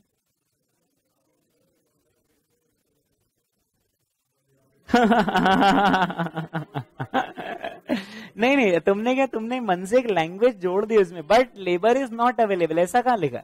उन्होंने लिखा है but labour is fully engage है ना? हम्म हम्म हम्म, हम्म। हाँ तो अवेलेबल है मतलब हाँ हाँ। नहीं department two is not available तो बोला ही नहीं department two is also available पर उनको निकाल के लाना पड़ेगा आपको, है ना? यहाँ पर वो उनकी अनअवेलेबिलिटी नहीं शो कर रहे उनकी तो अवेलेबिलिटी है, पर वो फुली एंगेज वाली अवेलेबिलिटी यानी उनको कहीं से निकाल कर लाना पड़ेगा। तो वो नॉट अवेलेबल तो लैंग्वेज ही गलत होगा अगर नॉट अवेलेबल है तो ऑर्डर रिजेक्ट ही करना पड़ेगा। है ना? तो नॉट अवेलेबल तो वो ऐसा फुल स्टॉप ही हो जाएगा कि है ही नहीं अवेलेबल अब क्या करें right they are available but they are fully engage वाले अवेलेबल तो पुराने वाले are also available but not fully engage वाले available which means they have idle hours ठीक है? ओके हाँ? तो अब क्या करें यार फिर? लेबर का क्या करें फिर? अल्टीमेट कंक्लूजन क्या निकला आपकी तरफ़ से? कि labour one is idle and labour two is key factor ठीक है? ओके चलो। ओपन करते हैं इस क्वेश्चन को कैलकुलेटर पर करते हैं ना? क्या आप इसके प्रेजेंटेशन को लेकर चिंतित हो? प्रेजेंटेशन में वही चार पाँच कॉलम्स बनेंगे। सबसे पहला आ जाएगा पार्टिकुलर जिसमें आप लाइन से वो चीज़ें शो कर दोगे। दूसरा आ जाएगा रेलिवेंसी एंड रीजन तीसरा आ जाएगा, जैसे यहाँ कंपटीशन की मुझे ज़रूरत लग रही है तो कंपटीशन का कॉलम बना लेंगे और फिर अमाउंट का कॉलम है ना? अपन प्रेजेंटेशन जैसा डिस्कस करते जाते हैं और कर लें इसको कैलकुलेटर पर, है ना? चलो ओके सो तो मेटेरियल ए के लिए आपने क्या किया? हंड्रेड के जी इंटू सेवन है ना? सेवन हंड्रेड गए मेमोरी में प्लस ओके अच्छा इसका रेलिवेंसी इन रीजन में क्या लिखोगे? Relevant cost is current replacement price since material is in regular use ठीक है? ऐसा लिखना since material is in regular use है ना? बताना कि क्या रेलिवेंट है और क्यों है. ओके दूसरा वाला क्या है? मेटेरियल बी उसके लिए पता अपन क्या करेंगे? वन फोर्टी के जी के लिए वन रूपी ले लेंगे और 160 के लिए थ्री अब इसका देखना, आप लिखोगे कैसे? आप इसको ऐसे लिखना relevant cost for one forty KGs is current realisable value since material is not an regular use full stop for additional one sixty KGs relevant cost is current replacement cost since material needs to be purchased. Since material needs to be purchased. ऐसा लिखना पड़ेगा, है ना? Okay okay. या फिर आप उसमें ऐसा लिख सकते हो being amount to be spend ठीक है, आप ऐसा भी लिख सकते हो being amount to be spend for 160 sixty KGs relevant cost is rupees three being amount to be spend दोनों में से आप कुछ भी लिख दो राइट ये इंटरचेंजेबल लैंग्वेज ऐसा कोई इनका हार्ड एंड फास्ट नहीं कि आपको यही वाला वर्ड लिखना ठीक है? ओके फिर लेबर आपने डिपार्टमेंट वन तो छोड़ दिया बींग आइडल इन नेचर बस ऐसा ही लिखना। Irrelevant cost being idle in nature आपको उनको ओवर एक्सप्लेन करने की ज़रूरत नहीं since you have written the word but word and it shows the contrast and the department two is fully engage therefore it is not so fully engage and hence we have taken it is idle ऐसा over explain नहीं करना। अगर आपने idol word mention करते हो, समझ जाएँगे, आप समझ गए ठीक है? ओके कॉस्टिंग के पेपर में आपके पास इतना समय ही नहीं होता मुझे ऐसा लगता है ना? अब इसके बाद आप आ जाइए डिपार्टमेंट टू हाँ और, और इसमें ध्यान देना पड़ेगा। इसमें हम पता है क्या बोलेंगे? Relevant cost is is labour cost plus opportunity loss of contribution since labour is key factor तो आपने twelve rupees plus twenty rupees दोनों को जोड़ने के बाद मल्टीप्लाई किससे कर दिया? एट से ना और उसको आपने मेमोरी में प्लस कर दिया। ठीक है? अच्छा एक और चीज़ और जोड़ दो, क्या जोड़ लो? वेरिएबल ओवर है ना? उसको सिंपल लिख देना। रेलिवेंट कॉस्ट अब इसके काफ़ी सारे बहाने हो सकते हैं। Relevant cost being additional in nature being incremental in nature being amount to be spend being out of pocket expenses right okay 150 हमने और जोड़ दिया। अच्छा इसके अलावा और कुछ रेलिवेंट बच रहा है क्या? कितना आ रहा है? One seven two six right one seven two six सारी टोटल रेलिवेंट कॉस्ट ऐसा टोटल लगा देना टोटल रेलिवेंट कॉस्ट बस उसके नीचे लिख देना टोटल रेलिवेंट रेवेन्यू कितना लिख दोगे? एटीन हंड्रेड तो आप नेट बेनिफिट कितना बता दोगे? सेवेंटी फोर रुपीज़ और फिर आप अपना डिसीज़न क्या दे दोगे? Since it result in net benefit of rupees seventy four therefore company should accept the order is that clear okay चलिए। अब हमारे दोस्तों नेक्स्ट क्वेश्चन जिसे कहते हैं क्वेश्चन नंबर थर्टीन पर है। क्वेश्चन नंबर थर्टीन पर आइए।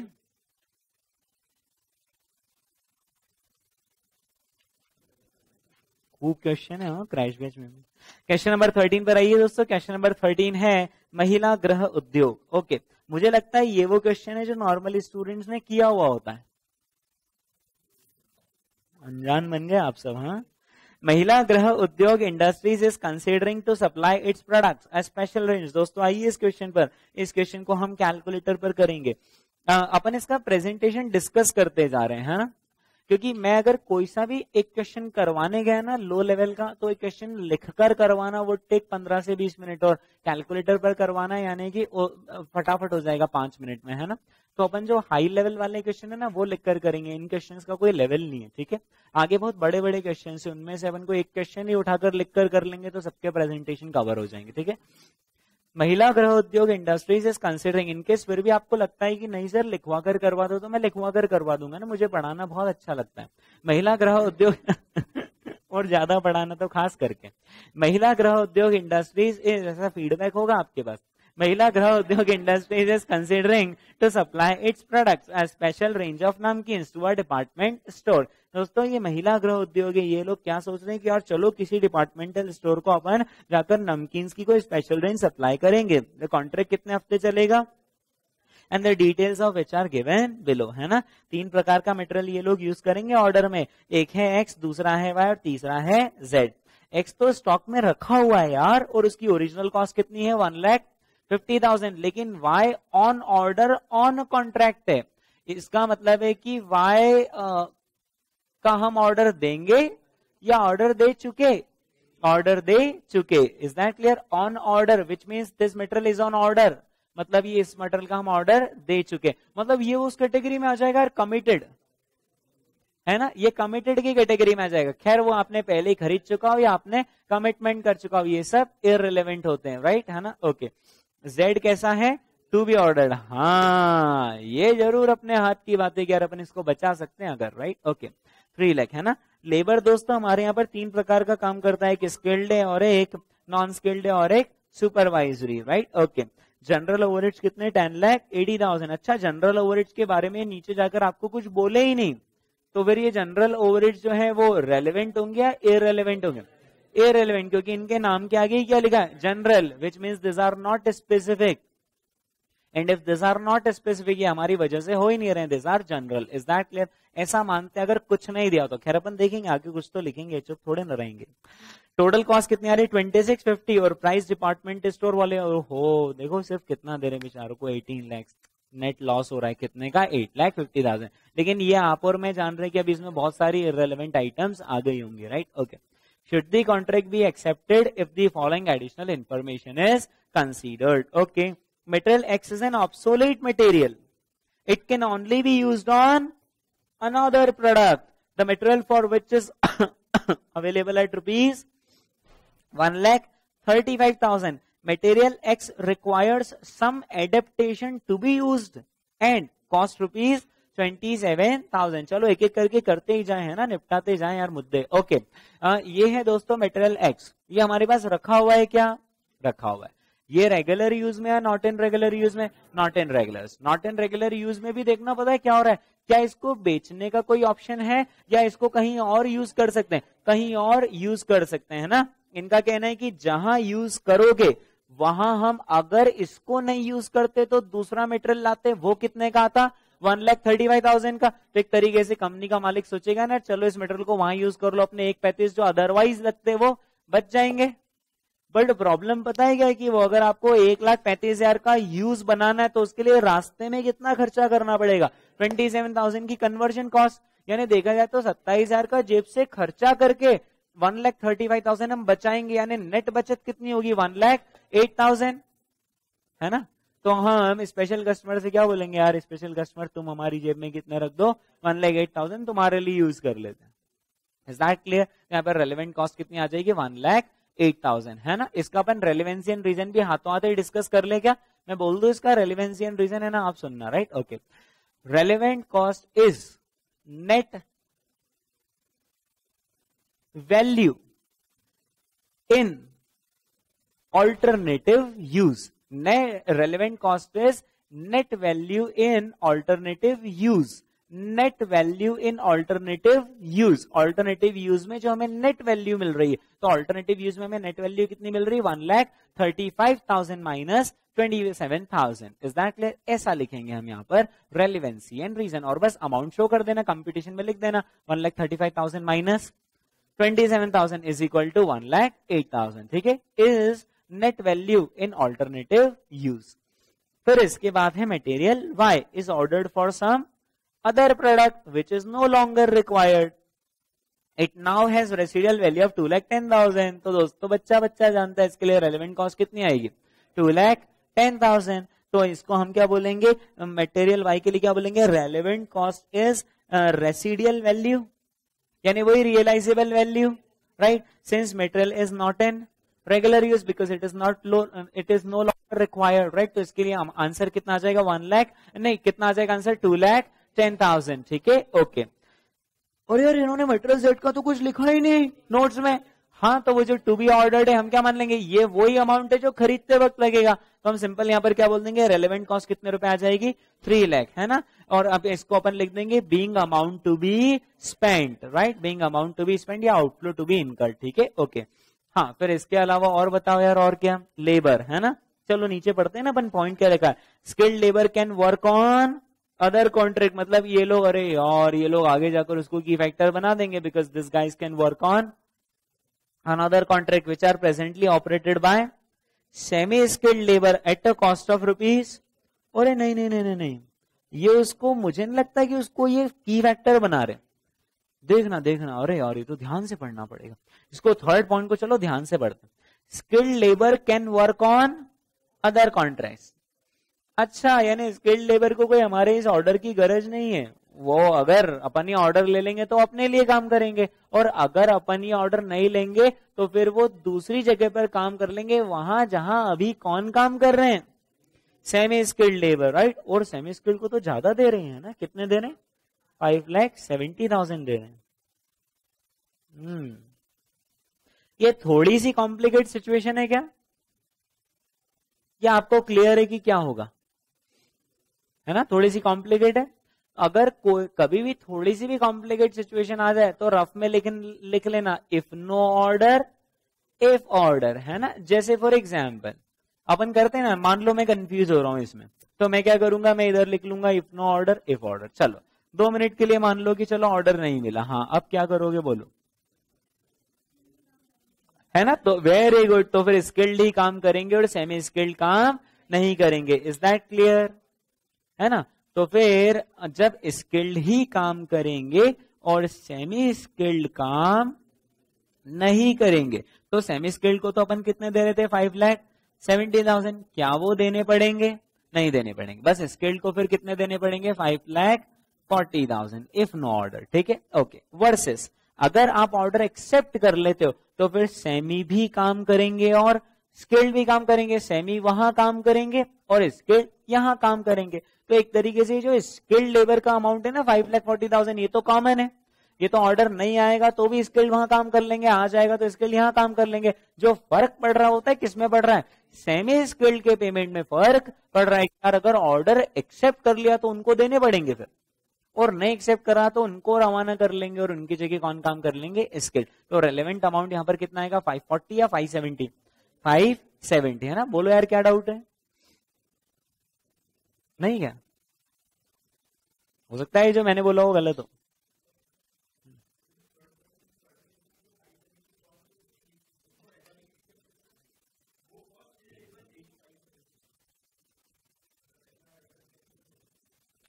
देखना, इसका ये जो तुमने डाउट पूछा it is a common doubt her batch में आता है डाउट ये है कि, सर, हम इसको ऐसा भी तो इंटरप्रीट कर सकते हैं कि सेमी स्किल्ड की जगह काम कौन कर लेगा? स्किल्ड लेकिन पेमेंट वही लेगा जो सेमी स्किल्ड ले रहा है फाइव सेवेंटी हाँ यार। हाँ ऐसा भी तो कर सकते हैं। नहीं पेमेंट बढ़ाकर क्यों लेगा? उसका कोई मतलब ऐसे कारण बताओ मुझे। मतलब वो या तो हमें स्किल्ड लेबर थोड़े और ज़्यादा लगेंगे, इसलिए पेमेंट बढ़ रहा है, या स्किल्ड लेबर को आर्ट्स ज़्यादा लगेंगे, इसलिए पेमेंट बढ़ रहा है, या सिंपल स्किल्ड लेबर बोलेगा कि सेमी को आप इतना दे रहे थे तो मुझे भी इतना चाहिए। मतलब किस कारण से आप 540 की जगह उसका 570 का पेमेंट मान रहे हो? मतलब कोई कारण बताओ। कि क्या कि क्या स्किल्ड वर्कर ज़्यादा लगेंगे, इसलिए पेमेंट 570 हो रहा है? या स्किल्ड लेबर को समय ज़्यादा लगेगा इसलिए फिर ज़्यादा समय के लिए 570 देंगे या नहीं बस सिंपल इसलिए क्योंकि उनको ज़्यादा दे रहे थे तो मुझे भी ज़्यादा चाहिए। नहीं नहीं आप ऐसे वो स्किल के लेवल से कंपेयर मत करो स्किल्ड और सेमी स्किल्ड है ना उसके लेवल से कंपेयर मत करो। आ, वैसे भी एक और बात बता दू स्किल्ड और सेमी स्किल्ड से रियल लाइफ में मैं कोई ऐसे वो तो खैर क्वेश्चन में हमेशा स्किल्ड की रेट ज़्यादा देते और सेमी की कम देते और बेचारे अन की कम देते। पर ऐसा नहीं, कई बार अनस्किल्ड भी खूब कमाता हाँ। ऐसा रहता है कि पैसा सिर्फ़ स्किल से नहीं आता, पैसा एक्सपीरियंस से आता है। हो सकता है एक अनस्किल्ड वर्कर हो, लेकिन वो एक्सपीरियंस हो, और हो सकता है एक स्किल्ड हो, और वो इन एक्सपीरियंस है ना? तो वो ऐसे मतलब फ्लैट टैली नहीं कर सकते। वो तो क्या क्वेश्चन को देख देख कर अपनी वैसी मानसिकता बन गई, लेकिन मैंने ऐसा सुना है कई बार पढ़े लिखे कम और कम पढ़े लिखे ज़्यादा कमा लेते हैं हाँ? तो वो तो क्वेश्चन में ऐसा अरेंज रहता है ना? इसलिए बाकी ऐसा कोई वो नहीं रूल नहीं, है? हाँ? तो आप ऐसा मत सोचो। अच्छा अगर यही कम होता तो आप कम देते फिर इसको। यानी से 570 की जगह मान लो सेमी स्किल का 470 लिखा था तो फिर आप स्किल को बोलते कि नहीं यार, तुमको तो हम 470 देंगे, क्योंकि वो तो 470 में काम कर रहा था। क्या ऐसा करते? नहीं ना? तो फिर ऐसा भी नहीं करेंगे कि उनको ज़्यादा दे रहे तो आपके ज़्यादा कर देंगे। Exactly. वो आप सिर्फ़ बायस हो रहे वर्ड पढ़ के कि यार वो स्किल्ड है तो उसके साथ अत्याचार कैसे हो जाए, ठीक है? है ना? पर आप वैसा नहीं सोचोगे बायस नहीं सोचोगे, है ना? तो उसका रेट तो वही रहेगा फाइव लैख कितना? सेवेंटी थाउज़ेंड ही रहेगा स्किल्ड का, है ना? अब मैं आपको कारण बता देता हूँ कि सेमी स्किल्ड के 570 क्यों है और स्किल्ड के 540 क्यों उसका कारण समझ लो आप, है ना? देखो फॉर एग्ज़ाम्पल मान लो अपन तीन लोग हैं, अपन तीन लोग पढ़े लिखे हैं ना, अपन तीन लोग कोई काम करेंगे, अपन 540 ले रहे हैं, है ना? आठ, दस सेमी स्किल्ड आ गए। क्या अपन तीन स्किल्ड को तीन सेमी रिप्लेस कर सकते हैं? ज़्यादा सेमी लगेंगे। ज़्यादा सेमी ज़्यादा सेमी लगेंगे तो हो सकता है कि उन ज़्यादा का पेमेंट हमसे ज़्यादा हो तीनों से, लेकिन इफेक्टिवली हम ही ज़्यादा कमा रहे क्योंकि हम तीन है और वो तीस है। है ना? तो आप ऐसे अमाउंट टू अमाउंट टेली मत करो, क्योंकि आप अंदर सोच रहे हो कि नंबर ऑफ़ वर्कर सेम है और नंबर ऑफ़ वर्कर अलग हो सकते हैं ना, वहाँ सेमी सौ लगे और यहाँ पर स्किल सिर्फ़ अस्सी हो, ठीक है? वैसे अमाउंट टू अमाउंट आप चेंज नहीं करोगे, है ना? ठीक ओके हाँ तो फिर कंक्लूजन क्या निकला यार? मैं तो ये चाहता हूँ आपसे। फाइव लैख सेवेंटी थाउज़ेंड ठीक है? तो हम क्या लिखेंगे यहाँ पर? Relevant cost is rupees five lakh seventy thousand being amount to be spend if order is accepted क्योंकि ये वो खर्चा है जो करना पड़ेगा, अगर ऑर्डर एक्सेप्ट किया तो। अगर ऑर्डर नहीं एक्सेप्ट किया तो हम फाइव सेवेंटी वालों को रवाना कर देंगे, खर्चा ही नहीं होगा, ठीक है? ओके हाँ यार फिर इसके बाद नॉन स्किल्ड लेबर और specifically employed for this contract बोलो यार क्या? रेलिवेंट क्योंकि इन वर्कर को हमें स्पेसिफिकली एम्प्लॉय करना होगा right okay supervisory one lakh का नीचे इन्होंने कुछ ज़िक्र किया है क्या? Yes supervisor staff will remain whether or not the contract is accepted तो दोस्तों सुपरमैन हमारी कंपनी में ही रहेगा, चाहे आप काम एक्सेप्ट करो या फिर मत करो मतलब सुपरमैन का अमाउंट यहाँ पर इरेलीवेंट है, ठीक है? अब देखो यार, आगे बढ़ते हैं, बहुत कंफ्यूजिंग क्वेश्चन है। मैंने सिर्फ़ क्वेश्चन ही वही लिए। जिसमें कंफ्यूजन हो कहीं ना कहीं किसी पॉइंट पर, जो नॉर्मल क्वेश्चन थे, जो वन शॉट में होने वाले थे मैंने हटा ही। दिए only two of them can replace other position where the salary rupees thirty five thousand अरे यार फुल स्टॉप लग के स्टॉप नहीं हो सकता था क्या? Only two of them can replace other position where the salary rupees thirty five thousand क्या अब आप ऐसा मानते हैं कि ये जनरल नॉलेज वाला हो गया? मतलब ये थोड़ा सा कंफ्यूजिंग हो गया। थोड़ा सा कंफ्यूजिंग हुआ ना कि आपको क्लियर कट पता है कि क्या होगा। जैसे ही थोड़ा सा कंफ्यूजिंग हो जाए ना, आप पता है क्या करना?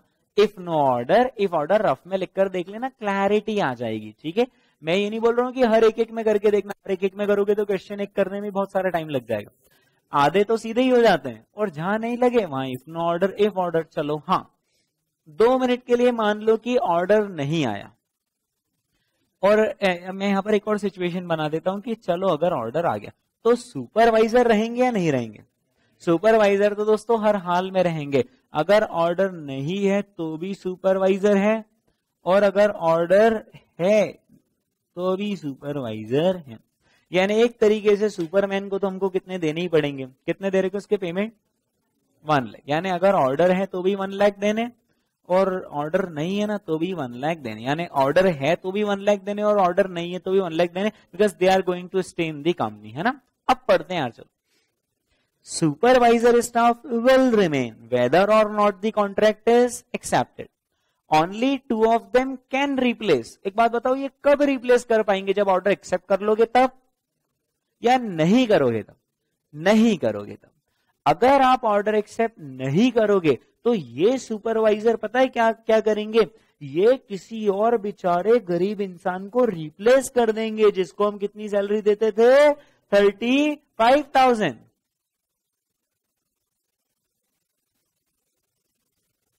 समझ गए होंगे आप? यानी कि ये जो थर्टी फाइव थाउज़ेंड वाले बंदे हैं, ये एक केस में रहेंगे और एक केस में नहीं रहेंगे, क्योंकि एक केस में तो बेचारे रिप्लेस ही हो जाएँगे। हाँ तो आप मुझे बताइए कि किस केस में रहेंगे? इफ़ नो ऑर्डर तो वो थर्टी फाइव थाउज़ेंड वाले रहेंगे या तब तो रिप्लेस हो जाएँगे? तब तो रिप्लेस हो जाएँगे। यानी अगर इफ़ ऑर्डर तो फिर ये थर्टी फाइव थाउज़ेंड वाले वर्कर्स रहेंगे। फिर रिप्लेसमेंट नहीं हो पाएगा इनका। है ना? फिर तो सुपरमैन ऑर्डर के लिए काम करेगा और ये कहीं और काम करेंगे। पर अगर ऑर्डर नहीं मिला तो ये लोग उनको कर देंगे, उनको रीप कर देंगे मतलब उनके थर्टी फाइव थाउज़ेंड हमें बच जाएँगे। यानी ऑर्डर की वजह से कितने ज़्यादा लग रहे थर्टी फाइव थाउज़ेंड ज़्यादा लग रहे हैं, ठीक है? अब इसमें कंफ्यूजन आता है। सर वो टू ऑफ़ देम तो एक के एक के थर्टी फाइव है तो फिर दो के तो सर सेवेंटी होते हैं, ठीक है? दोस्तों, ये टू संख्या किसकी है? इसकी छोटू की संख्या टू है या सुपरवाइजर की संख्या टू है? सुपरवाइजर की संख्या है ना? और थर्टी फाइव थाउज़ेंड सैलरी किसकी? सुपरवाइजर, हर एक एक सुपरवाइजर की सैलरी थर्टी फाइव थाउज़ेंड है? या वहाँ जो काम कर रहे हैं लोग, उनकी सैलरी थर्टी फाइव थाउज़ेंड है ना? इनकी है ना? चलो फिर से पढ़ लेते दोस्तों। क्वेश्चन ही सर बोली जिसमें आपको मुझे थोड़ा सा ब्रेन करनी पड़े। Supervisory staff a will remain whether or not the contract is accepted only two of them यानी दो supervisor will replace other position या पोजीशंस पोजीशंस अब कभी भी ऐसा मत वन ऑन वन रिप्लेसमेंट मत मान लेना कि दो सुपरवाइजर दो दो दूसरी पोजीशन को रिप्लेस करेंगे। मतलब ऐसा मत मान लेना कि एक सुपरवाइजर एक पोजीशन तो दो सुपरवाइजर दो दो सुपर दो पोजीशन इसका सिर्फ़ इतना सा इंटरप्रिटेशन होता है कि दो लोग जाएँगे और दूसरी पोजीशंस को रिप्लेस कर देंगे। अब ये हो सकता है पाँच पोजीशन हो। ये हो सकता है आठ पोजीशन हो। राइट ओके फिर से। Of them can replace other position where the salary is rupees thirty five thousand तो यहाँ पर थर्टी फाइव थाउज़ेंड की जो सैलरी वो अदर पोजीशंस की सैलरी हम यहाँ पर इसे पर पोजीशन नहीं मानेंगे राइट क्योंकि यहाँ पर सीधे कनेक्शन नहीं होता है कि टू विल रिप्लेस टू हो सकता है टू में रिप्लेस थ्री राइट ओके तो the salary is not per position salary right okay okay, तो हम कितना लेंगे फिर? रेलिवेंट कॉस्ट कितना बताया हमने? थर्टी फाइव थाउज़ेंड इस थर्टी फाइव थाउज़ेंड का बहुत सिंपल सा रीजन लिखना है। आप यहाँ पर पता है दो चीज़ें लिखना जब आप सुपरवाइजर का पॉइंट लिखो ना तो दो चीज़ें लिखना। एक तो आप लिखना cost of supervisor is is अरे यार क्या कर रहा cost of supervisor of rupees one lakh is irrelevant however rupees thirty five thousand paid in other position is relevant. Being amount to be spend if order is accepted या फिर due to decision in hand लिख दो right rupees thirty five thousand is amount to be spend due to decision in hand decision है तो अगर हमने लिया तो थर्टी फाइव थाउज़ेंड का खर्चा करना पड़ेगा तो थर्टी फाइव थाउज़ेंड आ जाएगा रेलिवेंट ठीक है? ओके ऑल्टरनेटिवली आप इस थर्टी फाइव थाउज़ेंड के आगे वर्ड रीजन में आउट ऑफ़ पॉकेट एक्सपेंसेस भी लिख सकते हो। Rupees thirty five thousand is relevant base being out of pocket expenses या फिर बींग एडिशनल इन नेचर ठीक है? हाँ तो कितना ले लिया? Thirty five thousand. अच्छा नीचे देखो इन्होंने क्या बोला है। ओवरहेड्स आर चार्ज एट कितना percent two hundred percent of skilled labour अरे वहाँ, यही ढेर हो गए। देखो जरा स्किल्ड लेबर का अमाउंट कितना? फाइव लैख फोर्टी थाउज़ेंड और उसका कितना परसेंट टू हंड्रेड परसेंट हो रहा है क्या टेली जनरल ओवरहेड मतलब अब तो हमारा जो शक है, वो यकीन में बदल गया कि this overheads are absorbed overheads क्योंकि आप तो 200 परसेंट ऑफ़ स्किल्ड लेबर से कनेक्शन बता रहे हो। तो ऐसे कनेक्शन हमेशा एब्जॉर्प्शन रेट के ही होते हैं। एक्चुअल ओवरहेड्स इस रिलेशन से इनकर नहीं होते एक्चुअल ओवरहेड्स तो बस इनकर हो जाते हैं। ठीक है? ओके ओनली अरे अरे अरे अरे अरे। Only rupees one lakh twenty five thousand would be avoidable if the contract is accepted if the contract is not accepted अगर दोस्तों ये कॉन्ट्रैक्ट एक्सेप्ट नहीं किया तो कितने बच जाएँगे? एक लाख पच्चीस हज़ार बच जाएँगे। व्हाट डज इट एम्प्लाइज की एक्सेप्ट कर लिया तो लग जाएँगे। मतलब हम इसको रेलेवेंट मान लेंगे। यानी जब आप जनरल ओवर लिखोगे ना इधर लिखोगे पर्टिकुलर्स में जनरल ओवर तो आप लिखना कि mere absorption rate of 200 percent is irrelevant. However, rupees one lakh twenty five thousand being avoidable in nature are relevant. और उधर लिख देना one lakh twenty five thousand ठीक है? फटाफट दोस्तों कैलकुलेटर को कष्ट दो और जरा बताओ sixteen lakh forty eight thousand आ रही total relevant cost sixteen lakh forty eight thousand आ रही है टोटल रेलिवेंट कॉस्ट देखो जरा। Okay okay. बस इतना करके छोड़ देंगे यार।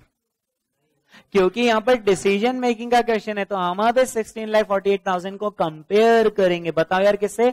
एटीन लैख से, यानी one lakh fifty two thousand का नेट बेनिफिट आ रहा है पॉजिटिव तो हम क्या बोलेंगे? Company should accept the order since it result in net benefit of rupees one lakh fifty two thousand is that clear बोलो ओके okay, चलो।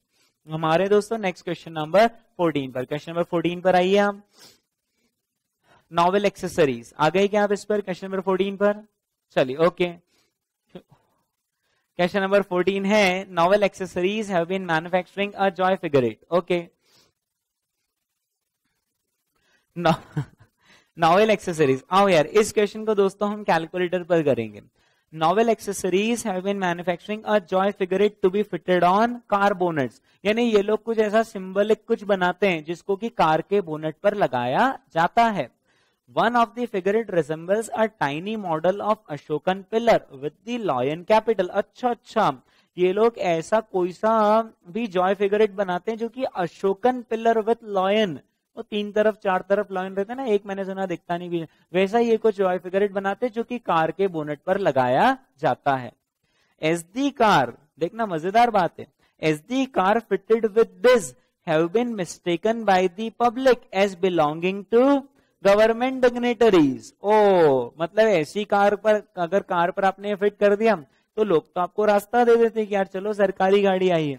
ऑन अ कंप्लेंट फिर बाद में उनको पता चलता है, अरे, ये तो अपने वाले ही थे। On a on a complaint statutory authorities have banned the use of this on car bonnet तो स्टेचुटरी अथॉरिटी ने कहा, यार, ये एक और कौन सी स्टेचुटरी अथॉरिटी वाली कारें आ गए तो उन्होंने इस कार को, इस इस जॉय फिगरेट को कार पर लगाने से बैन कर दिया।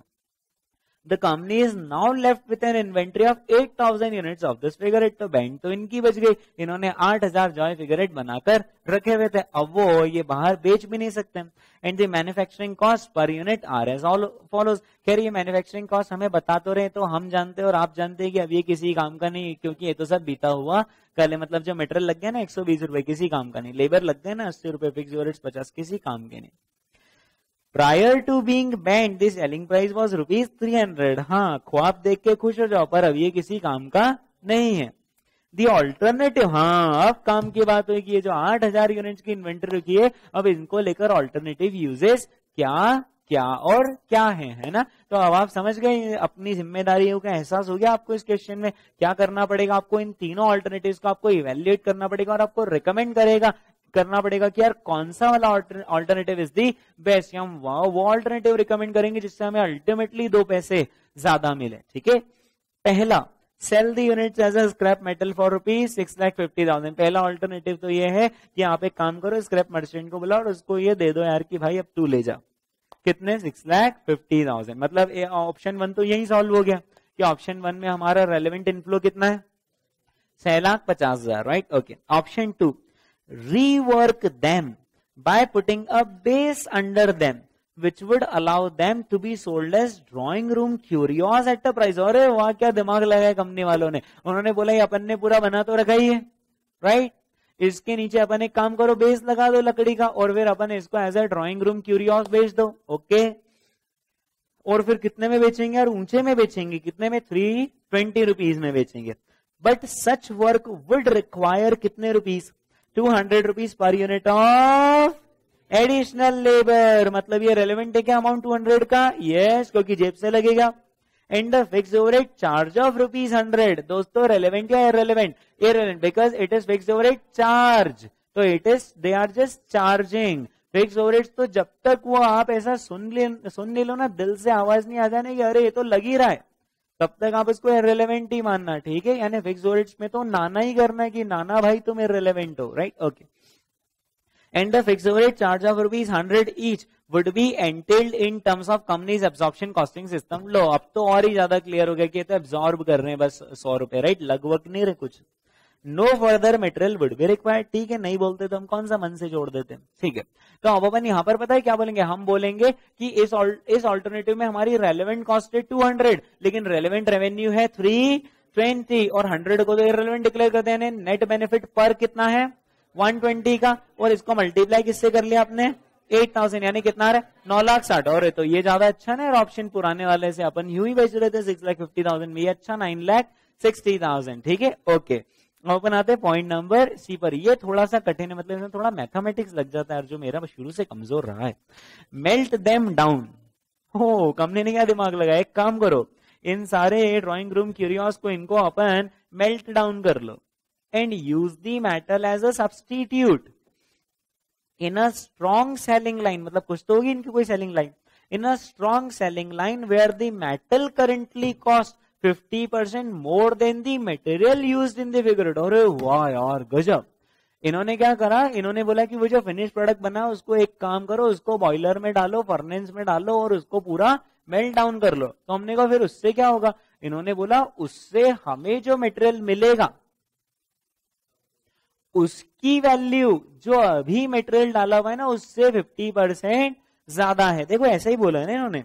Where the metal currently costs 50 percent more than the material used in the figure यानी अपन पता है क्या करेंगे? अपन यहाँ पर मेटेरियल देखो जरा, ऊपर कितने रुपीज़ का लिखा है? वन ट्वेंटी उसमें पहले कितना परसेंट ऐड कर देंगे? 50 परसेंट कितना? वन एटी और मल्टीप्लाई किससे कर लेंगे?